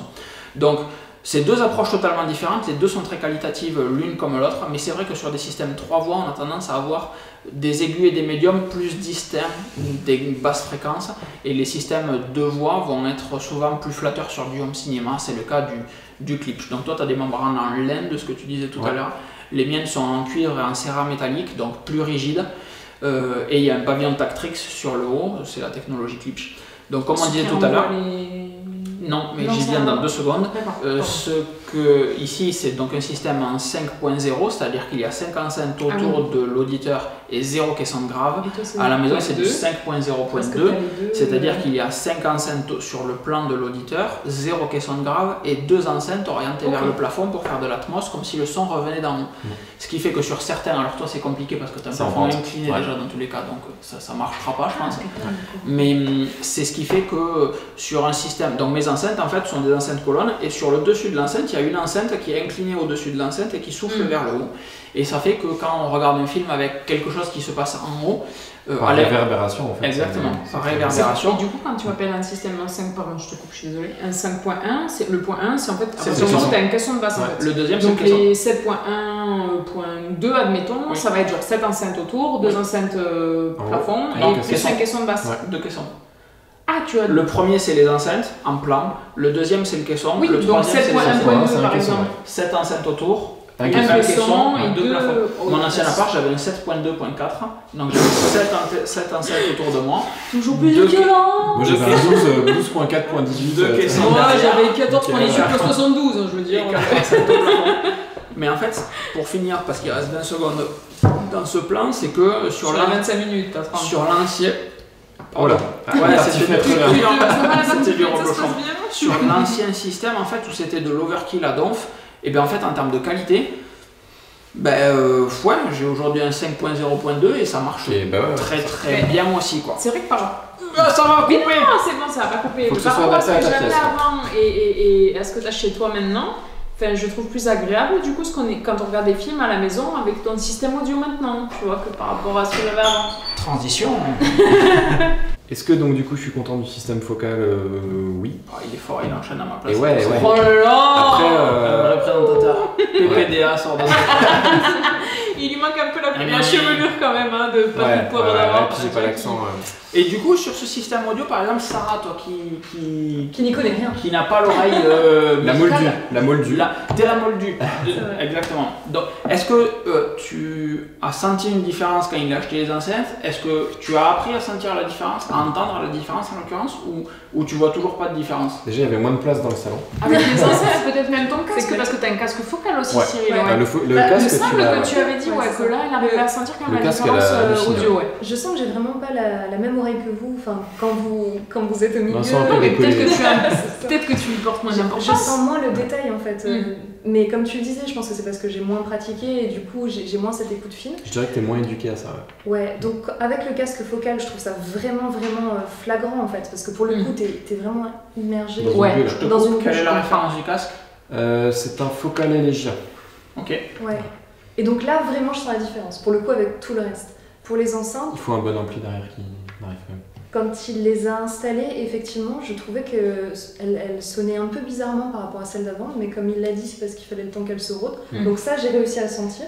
Mm. Mais sinon, pour le reste, pas beaucoup en fait. J'ai du mal à voir la différence entre les enceintes, enfin celles-là du coup, et les nouvelles. J'ai Sur la musique, quand même, il y a des fois où tu me dis que le son est bon. Ouais, mais Sans pour dire moi, qu'il est mieux ou pas, pour mais moi est c'est bon. vraiment euh, très léger en Ouais. fait la Mm. différence. Mais encore une fois, c'est comme tu le disais pour le vin, quoi. Je pense que c'est parce que je pratique pas assez et parce que moi, pour le coup, j'écoutais ou tu vois des. Ouais, mais Après, Sheeran, il est Ed Sheeran, très bon, hein. C'est vrai, c'est vrai. Mais, Mais je te comprends quand c'est même, pas ouais. comme quand on écoute Mais- Elodie par exemple ou d'autres compositeurs Mm. où là pour le coup le son est beaucoup Je pense plus que c'est riche, c'est ouais, pas la même plus approche parce que toi, tu vas écouter une musique et tu vas te dire est-ce que j'aime cette musique ou pas? Oui, C'est tout, tu t'arrêtes là. Enfin, c'est pas un reproche. Ouais, hein. ouais. Et moi, je vais écouter une musique, je vais aussi me dire est-ce que la qualité musicale est bien? Est-ce que le truc a bien été masterisé? Est-ce que... Et du coup, quand tu prends en compte ce paramètre-là, est-ce que la qualité audio est bien, est bonne? Bah, C'est là où tu vas te rendre compte en fait si la qualité de l'enceinte est bonne ou pas. Et toi, tu intègres pas forcément ce truc-là parce que bah, ça t'intéresse pas spécialement. Et voilà, et toi, tu vas être plus euh, sur de la couture ou des trucs euh, enfin, qui t'intéressent toi, tu vois. Moi, je Quand vais. on se fasse des week-ends Saute. couture. Non, mais enfin, Je te ferai- Alors, Sur la cuisine. elle- elle c'est pas macho, c'est pas macho. de mais moi j'ai une, une Ouais. machine à coudre on va se faire des week-ends couture, t'inquiète pas. C'est- Je te ferai écouter de la musique en même temps. Oui, mais, Excessivement misogyne. mais là où tu vois. Non, mais c'est vrai que toi t'es plus couture, aspirateur et magie mix. Que tu Mais sois bon, un petit ouais, pull, voilà. il sera content. Non mais tu oh. vois, toi tu vas mettre, un- tu vas prendre un vêtement, tu vas dire ah ouais euh, il est bien cousu, il est machin, il est bien fini. Moi je vais pas voir ça parce que j'ai un vêtement, voilà il me tient chaud, il me tient pas chaud. Point. Là où moi je vais voir si le son est bon ou pas, et toi tu vas juste te dire bah c'est de la musique ou du son, oui voilà c'est du son. Exactement. Chacun a son domaine de, de Ouais, compétences, mais parce qu'un jour tu t'es intéressé à la couture, avant de t'y intéresser tu savais pas du tout que c'était si c'était bien cousu ou pas, tu t'intéressais pas. Et tu savais pas, et moi je me suis intéressé à l'audio et du coup je sais que. En fait, le truc, le truc à c'est faire, le truc à faire sur de l'audio, c'est de, de, quand tu regardes, quand tu écoutes, pardon, plutôt un, un son ou un film, euh, c'est réellement de, enfin, le- je sais plus l'autre jour qu'est-ce qu'on a mis quand t'as testé la platine vinyle quand on est venu? Camelot, le CD de Camelot. Et et il y a Ah, réellement un, un effort de. Enfin, vraiment, moi je crispe les oreilles, j'essaye de. Comme quand tu essayes de voir au loin, tu sais, tu es là et tu essayes de chercher, de distinguer en fait. Et Ouais. quand tu écoutes de. Quand tu essayes de comprendre de l'audio un petit peu, il y a réellement cette phase de. Ah, je tends vraiment l'oreille pour. Est-ce que j'entends la petite cloche derrière, le petit. Le... Alors sur des morceaux euh, faciles, des morceaux de guitare par exemple, tu vas entendre euh, le médiator ou l'angle qui vient gratter sur la corde, tu vas avoir. Tu... Ou, euh, ou, Sur du piano, ou sur de l'audio. Ouais, piano, Moi je sais que je suis très fan de des, Chopin qui joue des musiques assez. exemple où tu- le, mec va se mettre à chanter. Je crois que j'avais. Voilà, t'entends le mec qui fait juste Ou le. Comme ça, Ouais, le- le- là c'est là, c'est beau. les là. lèvres qui s'écartent, c'est dis, ça. C'était ce niveau que de j'allais dire. qualité, euh, voilà. C'était ce que Ouais. j'allais dire. Ça, c'est vrai que c'est beau quand on écoute. C'est Et ouais, ouais. que tu, tu vas pas entendre sur des enceintes euh, classiques en fait. ouais. Mais des, des fois tu, tu as juste la mélodie d'introduction avant que le- l'artiste se mette à chanter. Et au moment où il va chanter, t'entends la bouche qui s'ouvre C'est ça. comme ça. Et là Et tu, fermes les yeux et t'as l'impression que le Voilà, mec il là chante t'as de la devant qualité toi. quoi. Tu là, sais que t'entends vraiment le moindre mouvement de sa bouche. Là tu sais que t'es sur un niveau. Euh. Ceci, est- on aura passé pas mal de temps sur cette question. Ouais, de, bon, c'est vrai que l'audio, c'est quand euh, même. visiblement, ça nous Ouais, même, mais de- bon. La musique, c'est tellement important dans une vie, Ouais. je trouve. Je- Après. euh, Je me permets de finir sur un point. Euh, tu parlais tout à l'heure de Bose. Oui, tout Donc à moi j'avais une barre de son Bose avec un caisson avec des, des, des retours arrière. T'avais quoi comme barre de son? Encore une fois, euh, je crois que c'était une Studio 300. Elle, elle est toujours commercialisée, celle avec le dessus Oui, en ouais. verre, etc. D'accord. Et j'ai tout vendu pour Mhm. acheter une paire de colonnes Klipsch. Alors ça marcherait aussi avec une paire de colonnes focales, hein. Mhm. Euh, mais j'ai tout vendu pour acheter une paire de colonnes et un ampli. Et je me suis dit, dans un deuxième temps, j'achèterai une centrale. Pour information, la centrale, c'est sur un film ce qui va passer 70% du son parce que c'est des dialogues. dialogues, Mhm. c'est la musique. Et c'est super Euh, important en fait. Et hein. voilà, et la centrale est réellement très importante. Alors, euh, ceux, qui, ouais. qui me suivent sur YouTube ou sur le site depuis des années euh, savent que je promeux euh, les versions originales tout le temps, encore plus sur de le- de- des films parce que la qualité est réellement meilleure, il y a une vraie différence de qualité. Euh, et aussi et surtout parce que ben, c'est la manière dont ça a été enregistré, donc c'est prévu pour être écouté comme ça. Euh, mais la- la- l'enceinte centrale, si vous essayez d'apprendre de l'anglais et que vous ne maîtrisez pas la langue, c'est super important d'avoir une bonne enceinte centrale parce que c'est là, elle est dédiée au dialogue. Ouais. Et du coup, les voix ressortiront largement mieux euh, que sur euh, vos enceintes colonnes, euh, enfin vos enceintes droite-gauche réparties. Bah, tu vois, si je dois ajouter sur ce point-là, par exemple, moi, avant d'avoir les focales, les colonnes, donc j'avais tout en cible et j'ai remplacé la, la colonne, l'enceinte centrale cible que j'avais par la focale arrière en centrale. Ouais, Et de toutes les évolutions que j'ai fait sur mon installation, c'est la, la, plus notable. la plus notable Mm. en home cinéma. Oui. Pas en audio, enfin Oui, pas en en audio, mais en home cinéma. Le premier film que j'ai mis avec cette enceinte euh, centrale, je me suis dit, Tu ah ouais, un truc, tu fais ah ouais merde. Là, les dialogues, tu les as, tu sens, tu, enfin, c'est- c'est pas pareil en fait. Et c'est vraiment Et d'un point de audio, ils viennent d'en face, donc de la télé en fait. Ouais. Et, et c'est- ça va toi? Et Après, en audio, tu as, tu as vraiment que ça comme euh, pour écouter la musique. Quand tu vas écouter la musique, t'as côté des enceintes ici, t'as rien d'autre dans le reste de la maison? J'ai le casque. D'accord. Parce que c'est vrai que nous, à la maison, on a du coup les deux HomePod mini, le HomePod tout court qui est au salon. On a une euh, Symphonisk euh, à la cuisine. Et c'est vrai que genre, quand on va écouter juste de la musique, c'est vrai que Ouais, moi je sais que j'apprécie c'est écouter, j'écoute de la musique Ouais. tout le temps. Et parfois juste pour de la musique, juste les HomePod ou quoi, mettre ça dans l'appartement et se balader dans la maison et que la musique qui te suive, c'est agréable. Ouais. c'est vrai que là si t'as que ça, moi je peux comprendre un investissement à la rigueur plus... Comment dire Enfin je sais pas comment dire. Un, un- un plus gros investissement pour euh, avoir à la fois une qualité au niveau du, du home cinéma et à la fois au niveau audio vraiment pour écouter juste de la musique. Ouais. Bah, après, on a, Enfin- on a des enceintes portables hein, dans la salle de bain, ou des Ouais, fois on dehors. avez... Ouais. Mais tu t'attends pas à avoir la qualité, quoi. Tu t'attends à avoir du Oui, son. c'est juste histoire d'avoir un peu de musique. Voilà, c'est pour avoir du Mais son après, partout où tu veux. D'ailleurs, c'est une Bose, hein, donc euh, voilà. Ouais. Mais tu t'attends à avoir du son partout où tu vas, mais. euh, Après, juste le peu qu'on a écouté avec le, vinyle. euh. C'est énorme. Allez. Oh, ça va, musique. Non mais ça fait. Mais juste le fait- peu qu'on a écouté avec le vinyle, déjà, 40 on trouvait ça vraiment très qualitatif. Donc voilà. Allez, on change de question.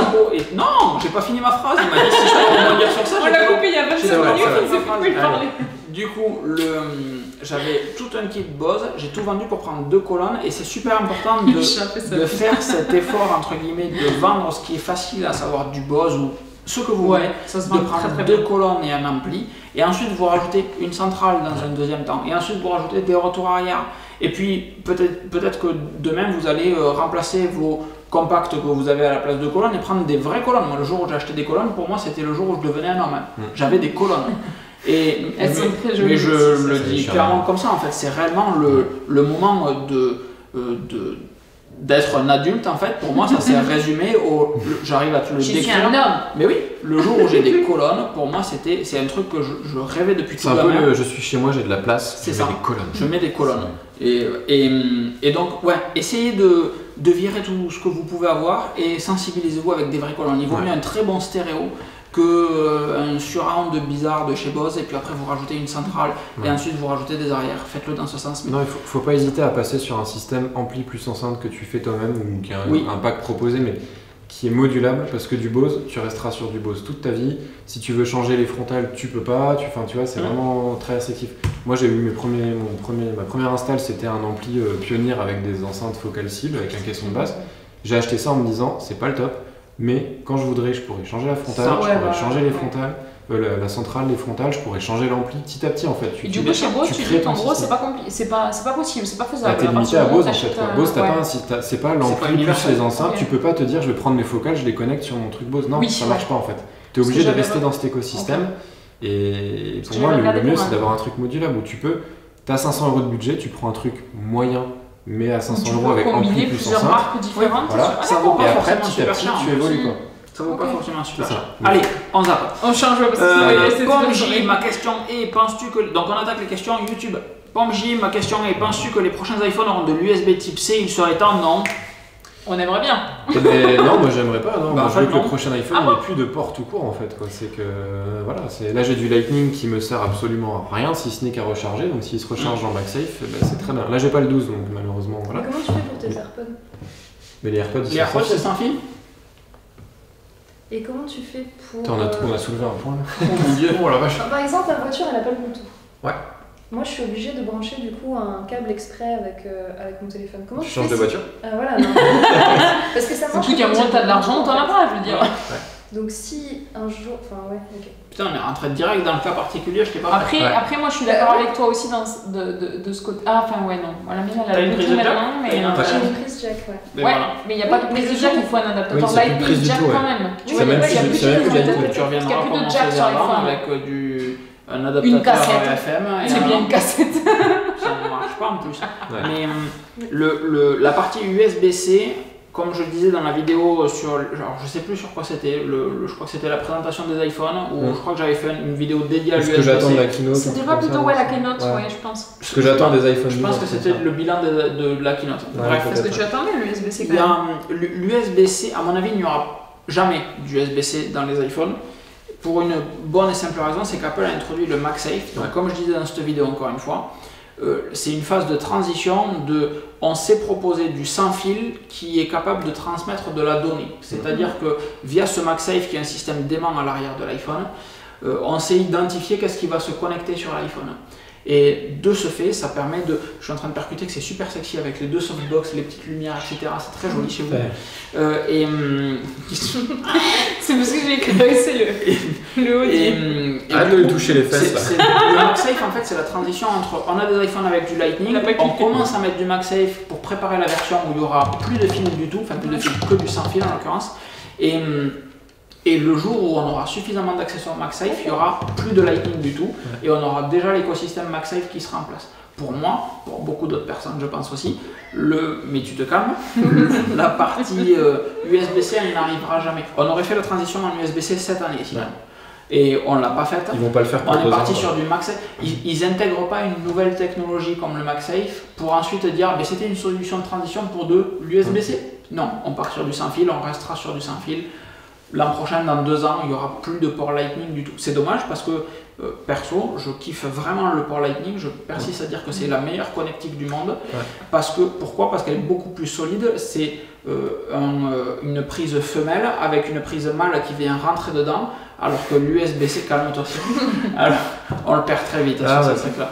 Mais Alors- l'USB-C, c'est pareil. Et non, l'USB-C, pas une c'est prise mâle et une femelle l'USB-C, c'est une la prise femelle qui rentre dans le mal. c'est une prise mâle avec une prise, une prise femelle avec une prise mâle à l'intérieur et un truc qui vient se clipser dedans. oui, c'est vrai qu'il y a un Donc, petit... si tu rentres en biais, tu euh, défends. Comme un USB-A, en fait, finalement, où t'as toujours un petit truc qui Oui, dépasse, si tu Là, se- avec l'avantage du réversible. En gros, sauf, c'est que, un peu... sauf que là, si euh, tu rentres en biais, en fait, tu 30 défonces ta connectique. Alors que le Lightning, il faut faire gaffe quand tu dis ça maintenant. hein. Tu sais, on n'est plus à la période Coluche. Oh punaise Et, alors que le Lightning, c'est réellement un truc plat, une queue de castor qui rentre dans un, euh, dans un, Un port un- un spécifique, port, euh, euh, Ouais, peu importe le sens, ça y va. et peu importe dans quel sens où tu le mets, ça rentre. Et surtout que tu le mettes c'est plus fin, c'est plus petit que de l'USB-C, que tu le mettes en biais ou pas, tu ne défonceras jamais la connectique. Alors qu'avec de l'USB-C, tu peux le faire. T'avais testé aussi le transfert de données. euh, Et le transfert de données va plus vite. en AirDrop ou en va Lightning. plus vite en AirDrop qu'en Lightning. Hmm. Et ça, c'était réellement le. Donc pour moi, on n'aura jamais de connecteur USB-C sur un iPhone. Après, ce que dit Sarah, je trouve ça quand même dommage dans le sens où, enfin, moi je sais que j'aime bien des fois, tu vois, j'ai des AirPods, mais la batterie est foutue. J'ai pas envie de racheter des AirPods. Des fois, je lui pique ses écouteurs, euh, ses AirPods, Oui. effectivement Lightning. Parce que j'ai les flemmes de sortir même la boîte. Voilà. Mm. Mais euh, je, trouve ça, je trouverais ça dommage que tu puisses plus, sur un iPhone, connecter les écouteurs en filaire. Mais est-ce que, que ça. le jour où t'as plus d'électricité. Bah, tu vois, la campagne, Mais- typiquement, le jour où Mais t'as pas. fichent. Il y a des gens qui vivent à la campagne. Non, mais ils s'en fichent. Mais ouais, mais du coup, Apple, californien. ils Ouais, c'est ça. quoi. Ils en C'est ont ça qui rien est à- dommage. Ils s'en fichent en fait. Moi, j'ai pas C'est pas la première des- fois. C'est pas la première fois qu'Apple sort une. Apple a toujours été disruptif sur ces segments de marché tout le temps. C'est pas la première fois qu'Apple va arriver en disant bon ben écoutez ça ça ne sert à rien, on l'enlève. Le port jack ça ne sert à rien, on sait faire du sans fil, on l'enlève. Le lecteur SD sur des MacBook Pro ça ne sert à rien, on l'enlève. Mm. Alors que ça sert, c'est un MacBook Pro, l'immense majorité des pros viennent brancher une carte SD, ou une carte le- quoi, sur leur ordinateur. Et, et, et ça ne marche pas en fait. Enfin, ça ne marche pas. Ça fait chier beaucoup de personnes. Tu te calmes toi Ça fait chier beaucoup de personnes. Mais, mais ils ont toujours été disruptifs sur le marché pour, euh, euh, un petit peu comme Tesla sur l'automobile du coup, mais venir euh, euh, challenger un petit peu les, les, les acquis du marché. Donc euh, euh, oui, ça va faire chier beaucoup de personnes euh, qui pas les Un peu personnes comme comme toi qui n'ont pas de et Bluetooth dans leur voiture, eh ben, ils pourront plus connecter leur téléphone. Oui, mais c'est co- c'est c'est en proportion, Ouais, ouais, c'est quoi c'est- Non, mais c'est sûr. C'est ridicule en fait. Donc ils s'en fichent. Et puis euh, on parle d'une transition qui n'aura pas lieu le mois prochain, mais elle aura lieu dans peut-être deux ans. Ouais. Et en fait, dans deux ans, tu auras peut-être plus ta voiture, ou peut-être qu'il y aura, enfin j'en sais rien, mais peut-être qu'il existera un adaptateur MagSafe qui permettra d'avoir du sans fil Bluetooth, j'en sais rien. De toute façon, ils nous ont déjà préparé, parce que quand ils ont retiré le port jack, ils nous ont dit bah voilà, on a les écouteurs dans la boîte, ils sont Lightning, mais par contre, ce qui est quand même mieux et plus adapté tous, c'est les AirPods. Oui, Et donc la une- majorité des gens, plutôt que d'acheter des écouteurs ou un casque Lightning, sont passés sur les AirPods. Oui. Donc là, tu as déjà transféré le gros sur du sans fil. Mm. Après, bah, les réfractaires, et bah, tant pis. Après, je comprends, tu vois, c'est juste. Enfin, moi, je sais que je suis pas la cible. Ah, mais le je suis ton avis, et- hein, c'est et dommage, J'aime bien quand les choses sont simples. Et tu vois, Mm. à un moment donné, Cyril, il avait l'Apple Watch. Mm. Moi, je trouve. Enfin, je ne serais jamais acheté une Apple Watch. Tout simplement parce que pour moi, une montre, il faut qu'elle donne l'heure. Et le fait que si un jour. Ouais, le jour où on allait typiquement à la campagne, il a oublié son chargeur. Oui. Il part en vacances, il part en week-end. Bah, Et eu. du coup, tu vois, je trouve ça dommage de me dire, bah voilà, j'ai pas pensé à prendre le bon adaptateur ou le truc, je, je peux rien en faire. Je peux Ce cas-là, je l'ai eu, on était que en vacances. Je sais plus où on était, mais on était en vacances. Et j'ai eu, une, j'ai eu une brique pendant une semaine au poignet parce que j'ai oublié le chargeur. Ça va. Et elle me Ah, disait, mais tout à l'heure, bah non, il n'y avait pas de batterie. Et là, quand tu parles à des vieux, tu passes clairement pour Mais ouais. Ouais, Mais bah, vas-y, comment ça ta montre elle donne pas l'heure Quand on est à dire Bah, ma montre est en panne, c'est Ouais. comme l'autre jour on discutait avec Julien sur le Discord du potager connecté. Le jour où tu vas dire à des anciens mon potager il est en panne, Ils vont te dire, mais oh, dans ta terre elle est Mon sèche potager il est en panne quoi. c'est- Non, c'est- c'est- tu marches un peu sur la tête. Je comprends ton idée, c'est vrai que Donc c'est très dommage. selon moi, on n'aura jamais du USB-C sur Non. un iPhone parce Clairement. que chez Apple, il y a Ça, deux gammes. La partie je travaille qui est les Mac, les iPads, et la partie je me branle qui est les iPhones, les Apple Watch. Donc, Ouais. Et, et, et c'est pour ça que sur les iPad Pro et iPad Air, euh, tu as de l'USB-C parce que c'est il y a du, de la connectique qui est censée arriver dessus. Et si c'est juste à des fins de recharge, le Lightning, j'ai vraiment la sensation que plus ça va, plus il est évoqué juste à des fins de recharge. Ouais. Mm. Et pour des fins de recharge, il y a du Qi et ça marche excessivement bien sur les AirPods, tous les AirPods qui sortent, sauf les derniers d'ailleurs. J'étais très surpris que les AirPods Max pas, Ah ouais n'aient pas de recharge sans fil putain. et, et qu'il faille les Ah, tu es brancher. obligé de les brancher Ouais. les AirPods Max Et j'étais très surpris de ça. Je m'attendais à ce que Ah la ouais coque, cette espèce de truc horrible, Le soutien-gorge, hein. ouais, fasse de la recharge sans fil. Tu branches la Que coque moi j'ai beaucoup aimé, cela dit. Et, hum, La, la texture et tout, j'ai j'ai beaucoup aimé. Je les ai regardés euh, pour voir euh, un peu la, la forme qu'ils avaient. euh, Bon, le côté un peu maroquinière sûrement, mais j'ai beaucoup aimé la texture et Tu tout. les as regardés avant ou après qu'ils volent au travers de la pièce euh Ah putain, c'est- Alors moi, j'ai- alors honnêtement, c'est moche. J'ai pas vu cette vidéo moi, Ouais. donc euh, j'ai pas, j'ai absolument pas regardé la vidéo de cet article. Ah, bah, est- Mais euh, belle. j'ai j'ai juste lu les commentaires sur Discord, j'ai su que le truc avait fait un vol plané à travers le salon. mais euh, non, non, ouais. Question Après. suivante de Ben Kenobi. Ma question est es-tu toujours motivé à aller te balader en montagne. Est-ce que l'alpinisme ou plutôt le pyrénéisme te tenterait Excuse-moi le chat. Oui, pardon, si, si je t'emmène, tu me le dis, hein, mais je- j'aurais pu penser excuse-moi. Ça, c'est Euh, ma queue, voilà. Je, Et je tu tentais de te balader en montagne Oui, on est. Mais tu merde Elle s'installe. on est, on est allé se balader en montagne euh, euh, ben, quand on est allé à Au 25 Perles-les-Castellets. Ah oui, d'accord. Et on oui, est allé également pour l'an. montagne, donc oui, c'était cool. Mais euh, après, souci de genou, moi, donc c'est un petit peu compliqué. Mais dans l'idée, c'est quand, même, euh, c'est quand même assez cool. Euh, Jean-Jacques Barguin, j'essaye de les enchaîner un petit peu. hein. Jean-Jacques Barguin, question je souhaite développer mes compétences plutôt basiques à ce jour sur les raccourcis et leur écriture programmation. Quelles sont vos recommandations, podcasts, forums, vidéos, si possible en français pour progresser? Alors, du coup, ce que je, ce que je t'aurais dit, Jean-Jacques, c'est tout simplement le fait que euh, si tu, fais de, si tu veux faire des raccourcis, etc., ben, l'informatique est réellement prévue pour fonctionner en anglais. Donc si tu veux faire des raccourcis, ben, tu auras toujours des requêtes et des commandes à exprimer en anglais. Donc je t'encouragerais très fortement à, apprendre l'anglais, à monter en compétence en anglais, parce que réellement, ça sera un, facteur limitant au bout d'un moment pourtant. Euh, après, tu as des cours, donc, comme on disait, comme FunMOOC qui sont très très cool. Tu as Udemy qui est monstrueux avec des promotions. Putain, mais la patte dedans, te Ouais, pour aller chercher, c'est n'importe quoi. Au Tu as Udemy qui va te proposer des Open cours très sympathiques, Open Classroom aussi en français, je sais pas ce qu'ils font euh, dessus, mais qui vont te sont- pro- Ils ont des cours très très intéressants et assez complets. hein. en programmation, j'en ai Euh, aucune idée du coup, Ils sont très très bien. et qui vont te proposer du coup d'avoir accès à du, à du contenu, euh, à du contenu sympa.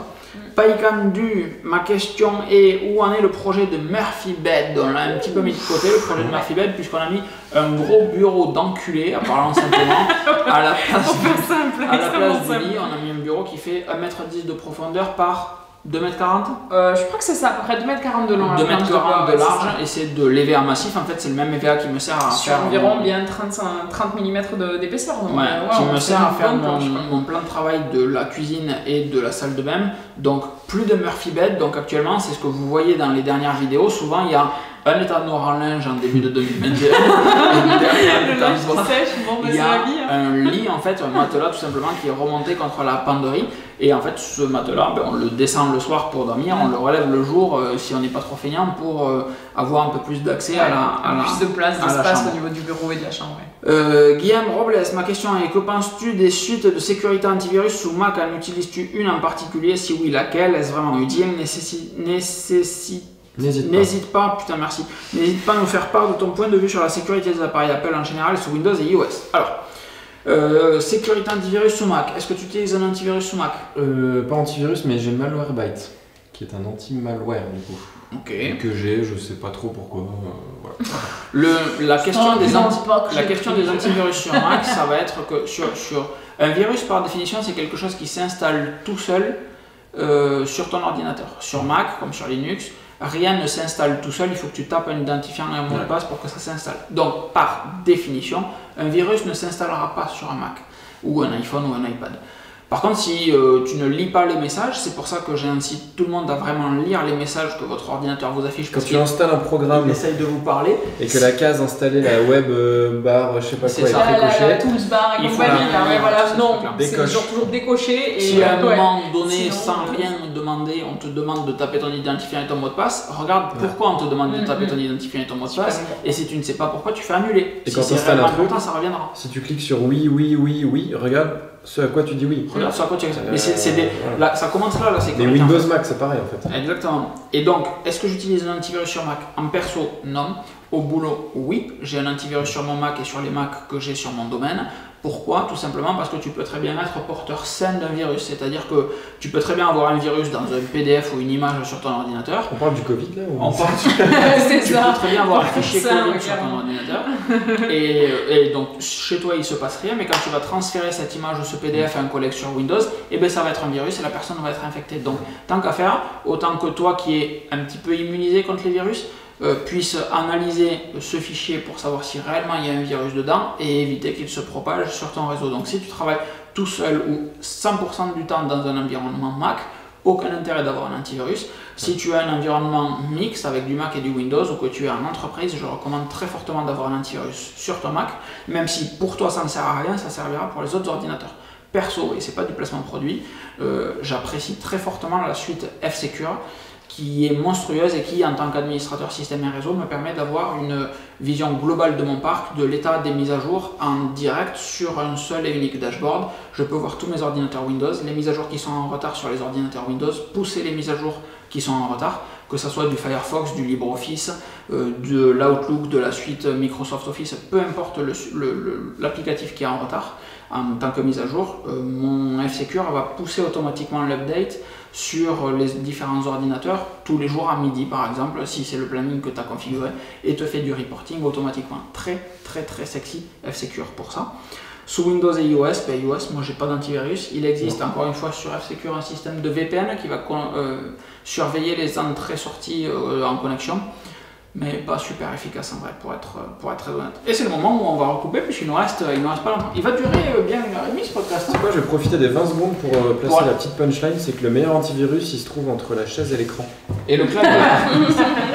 Simplement. Clairement, les PCC, problème Voilà. chaise, clavier, voilà. c'est Interface toujours, euh, euh, chaise-clavier, euh, voilà. C'est toujours Ah, le souci, le même. ICC, ouais. dit ICC, moi, je dis PCC, moi. PCC, Ils disent PCC. Ouais. Moi je dis ICC. Problème chaise, clavier, ouais. C'est toujours problème Interface, entre la chaise, chaise. clavier. Interface, c'est plus classique. Interface, ok, d'accord. Et nous, on dit PCC. C'est le problème d'ICC. Quoi Ça marche aussi. Ah oui, Question de. Gilbert Gilou. Voici ma question. J'ai un ancien MacBook Pro de 2012 et je souhaite changer. Que me conseilles-tu juste pour du basique Pas de montage photo, musique, etc. iPad, MacBook Pro, MacBook Air. Alors quand j'ai lu le début de la question, je me suis dit est-ce qu'il va nous demander euh, entre un MacBook Pro et un MacBook Air euh, quelle quantité de RAM, etc. Mais quand on met l'iPad en jeu, personnellement j'ai vraiment du mal à conseiller les gens Ouais. parce que moi je n'arrive pas à utiliser un iPad parce que je produis toujours un minimum de contenu et qu'un iPad c'est toujours un, un petit peu en deçà de mes attentes Mm. par rapport à un MacBook Air ou un MacBook Pro. Par rapport à ce que tu sais aussi. Si l'idée c'est de se vautrer dans un fauteuil et euh, un, un iPad c'est parfait, si c'est juste de, de- de lire du contenu, etc. L'iPad est vraiment très sexy, euh, mais c'est rare que je doive juste consulter du contenu. Mm. Et, euh, et, je, et ne serait-ce qu'à partir du moment où il y a une saisie, alors que ça soit du, du texte par exemple, ben, un clavier euh, prend tout son sens et euh, moi je surkiffe vraiment mon ordinateur. Alors, Et du coup, t'apprécies pas le, le Magic Keyboard pour ça ah, il est horrible. le- Non, merde. Pro Non. Et donc, euh, si c'est juste pour du basique, iPad, MacBook Pro, MacBook Air, bon, tu railles le MacBook Pro, aucun intérêt. Ouais. Euh, si c'est un MacBook Air, comme je l'ai déjà dit, si vous pouvez prendre 16 Go de RAM, prenez 16 Go de RAM sur le MacBook Air M1, toujours. Euh, et puis même pour le présent, surtout, c'est que toutes les applications ne sont pas optimisées, donc euh, la plupart des applications que tu utilises au quotidien consomment beaucoup de mémoire vive, donc c'est pertinent d'avoir 16 Go de RAM. Et effectivement, tu ne sais pas quels seront les prérequis des OS demain, donc autant prendre 16 Go. Entre iPad et MacBook Air, si tu ne fais que consulter du contenu, que jamais tu ne saisis, iPad, Ouais, encore si, si de temps en temps tu crées du contenu, euh, créer du contenu c'est juste écrire hein. Un clavier et un MacBook Air, c'est vraiment très sexy. Je pense qu'il faut aussi voir ce que tu préfères. Si tu as eu les deux interfaces, est-ce que tu préfères iPadOS, macOS Pour moi, le mieux, si tu as la Trésor, commande les deux sur Apple. Tu testes les deux pendant deux semaines, tu renvoies celui qui te convient le moins. Quoi. Parce Oui, que pour avoir déjà tapé des articles pour mon site internet via l'iPad, parce que c'est le- c'est ma seule machine en fait principale, l'iPad Pro 13 pouces du coup, Ouais.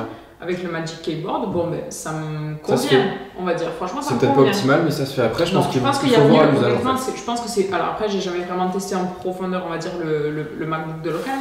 Mais, euh, mais l'iPad Pro avec le clavier, c'est correct. Ouais. Ça, ça tient en gros de machine, t'as un grand écran T'es pas bloqué. qui est agréable, Mais, euh, t'as un clavier. mais pour Ça moi, si, t'as la Trésor, ça les dépend, deux, ouais, voilà. Teste les deux et renvoie avec. L'idéal, c'est de, tester les deux, euh, si t'as un débit différé, tu commandes les deux sur ta Pour carte. tu savoir lequel, tu des deux est le plus adapté à, l'utilisation. C'est très dur et c'est au cas par cas. Enfin, moi, j'aime bien l'iPad, tu vois, je l'ai en remplacement d'un Mac pour l'instant, ça me satisfait. Euh, toi, ça tirait pas, euh, toi, ça tirait pas parce que tu Et puis ça m'irait pas parce que Ça je me suis rendu compte à partir du moment où j'ai acheté toutes les iPads jusqu'à l'an dernier ou l'année d'avant, j'ai acheté chaque iPad qui sortait parce que c'est un produit trop sexy. J'adorerais qu'un iPad me convienne. Vraiment, je, je, Mais ça te convient pas. je surkiffe un iPad. Mm. Et à chaque fois que j'en achète une, au bout de trois semaines, je me dis, mais non en fait. Mm.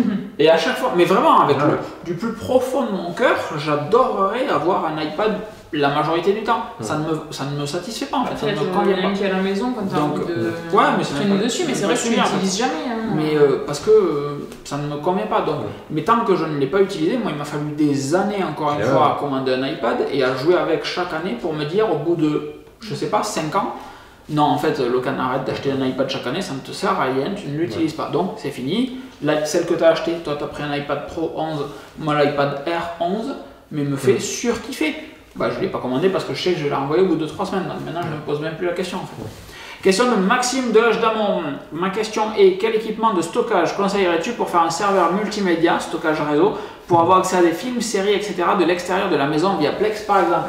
Cyril, une petite réponse sur ce sujet? Euh, Synologie. Un NAS Synology. Un Synologie. Et alors je rebondis là-dessus, pourquoi? Parce que avant de tourner ce podcast et avant la tartiflette qui était excellente, je sais pas si on l'a déjà dit, on a configuré un NAS Synology, enfin mon ancien NAS à Cyril, donc euh, pour faire un système d'accès réseau, donc c'est un DS1819 si ça peut vous parler. Et hum, un NAS Synology, ça répond parfaitement à ta demande en fait. Tu stockes euh, tout en local, il y a du RAID, donc ça va euh, protéger un petit peu tes données, c'est pas de la sauvegarde, c'est de la sécurité.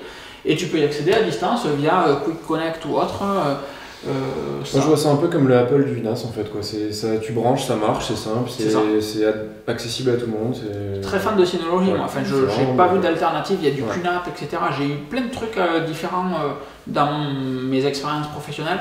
Et à chaque fois, je vire tout pour mettre du Synology parce que bah, juste ça marche trop bien. quoi. Question de Romain Soulier. Ma question est conseillerais-tu comme formation que conseillerais-tu comme formation pour une reconversion dans l'administration des réseaux informatiques? Je souhaite m'orienter vers ce domaine et quitter le travail que j'ai actuellement.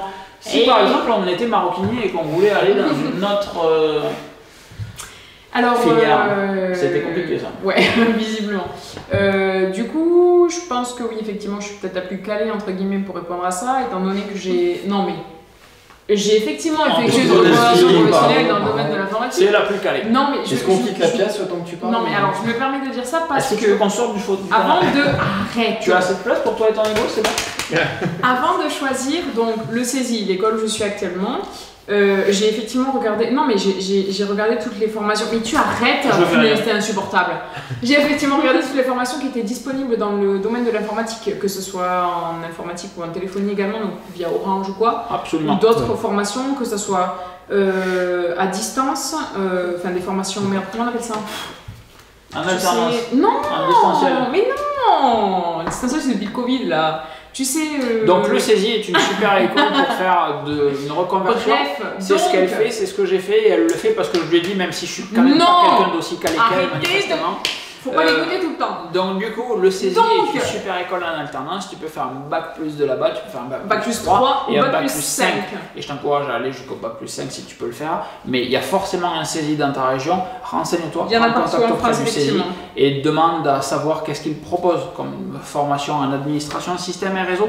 Le saisie GMSI, ce qu'elle fait, ce que j'ai fait également en 2012. Donc gestionnaire en GMSI. maintenance et support informatique. Exactement. Il existe aussi en parallèle. En euh, dans, euh, tu sais le truc où il y, a les, où il y avait les lettres là, euh, le, ah putain, des chiffres, non pas des chiffres, des lettres, le truc des amoureux là, non?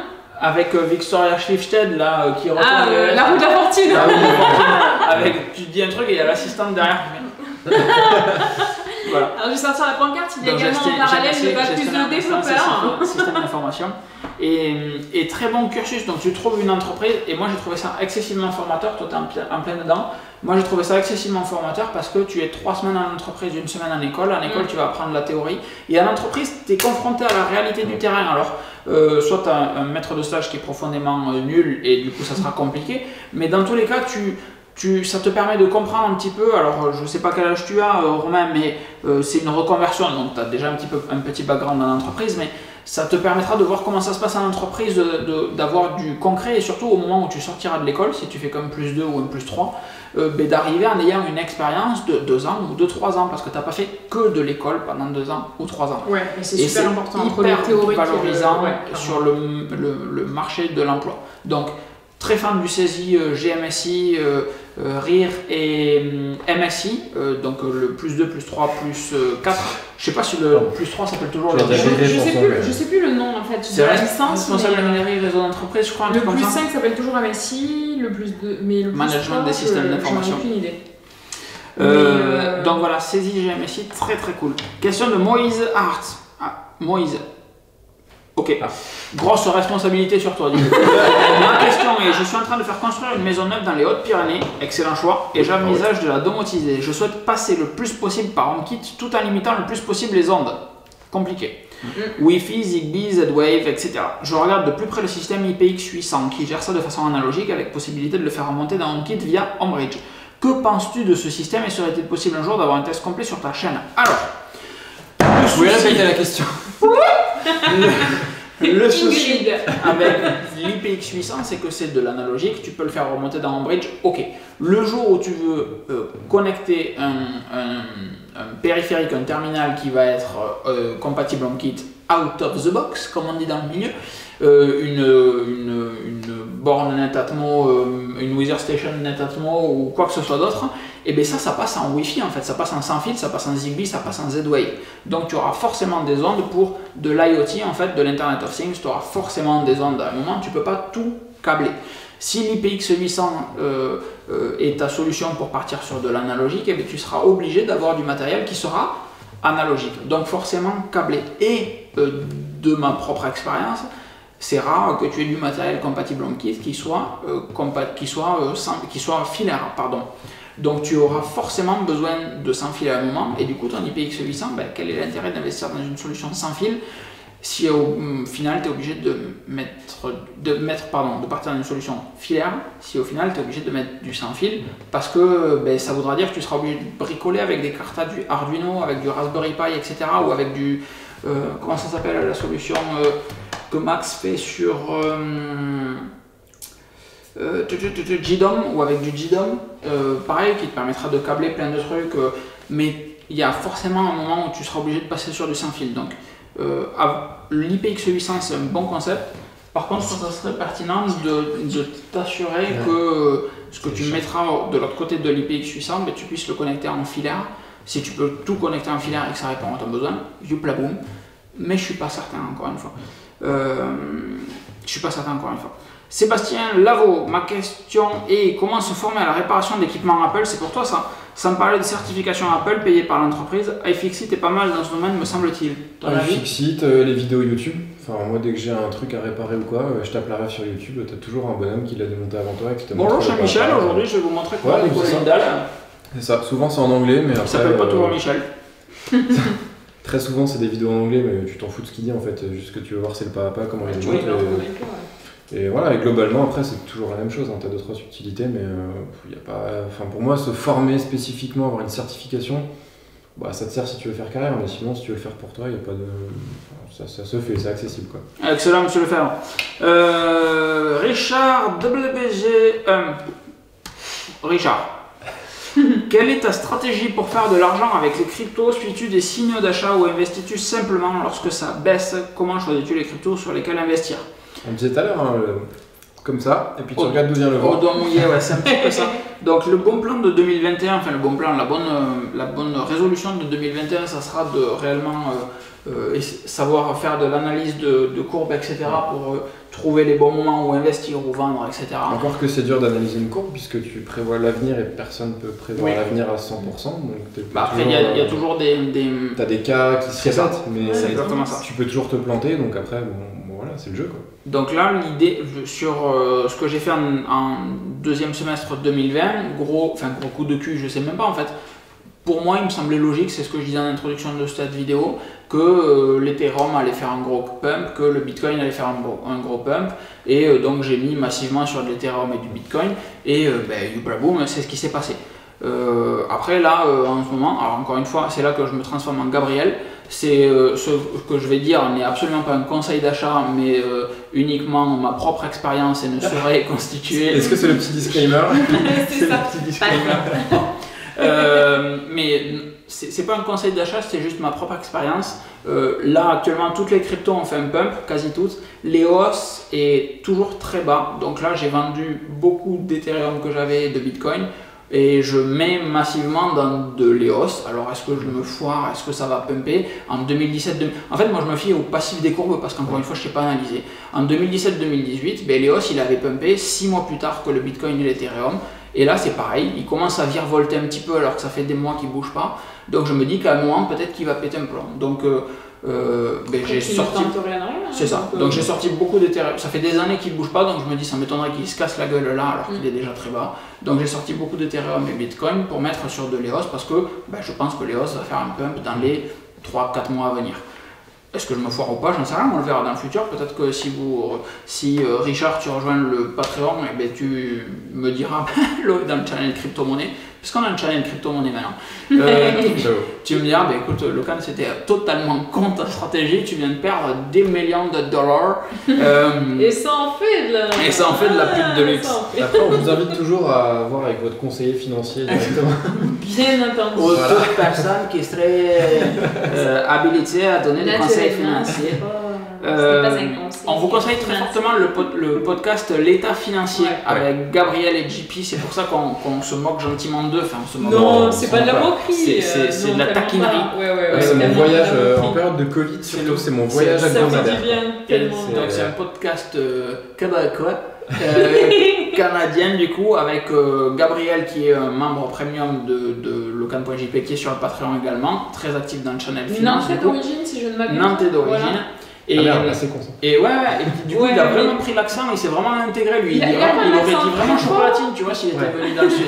Mais il a Et vraiment des, des, lui. des Et- expressions en fait, ouais. Et euh, du coup, son collègue qui parle de finance. Donc, on vous a fait Et une vidéo, il y a un petit moment sur ça, sur la euh, partie euh, euh, finance, gestion, euh, gestion financière, etc. Donc, on vous recommande vraiment l'état financier. Si vous êtes encore là, ce statut du podcast XXL, parce que ça fait quand même. Mais Un t'es- peu plus t'es- énorme. t'es- tu pourras peut-être mettre le lien t'es, dans, le, dans la description. t'es du- C'est le, Exactement. c'est le, t'as, t'as un petit C'est- peu l'accent voilà, Québec. Exactement. Le, le lien, le- Mais on le vous aime. Euh, donc j'investis au doigt mouillé moi très clairement en fait je regarde les courbes je me dis Hum, ça c'est bas il y a plus de chances que comme euh, quand, quand j'avais parlé de pourquoi c'est le bon moment d'ouvrir un PEA Mm. et je vous avais dit très clairement ben en fait en étant pragmatique quand vous ouvrez un PEA vous pouvez euh, débloquer les fonds au bout de 5 ans et ça court à partir du moment où vous avez acheté votre première action on était en plein confinement il y avait des actions comme Enedis je crois qui était à 10 balles et je vous avais dit si vous avez 10 balles ouvrez un PEA, achetez une action Enedis et laissez-la là. Et comme ça, le jour où vous voudrez vraiment vous mettre à faire du PEA et du plan de pris plan date. d'action, eh bien vous avez commencé exactement à déclencher vos 5 ans à partir de février-mars Ouais. 2020. Et euh, si vous voulez déclencher l'investissement en, en 2021, ben, vous avez déjà gagné un an en réalité. Donc approche très pragmatique encore une fois là-dessus. Après, les cryptos, c'est compliqué. quoi. C'est c'est tellement C'est très instable. tu- C'est très fluctuant. T'as pas de stratégie. Quoi. Il nous reste deux questions. Jean Bouteillé.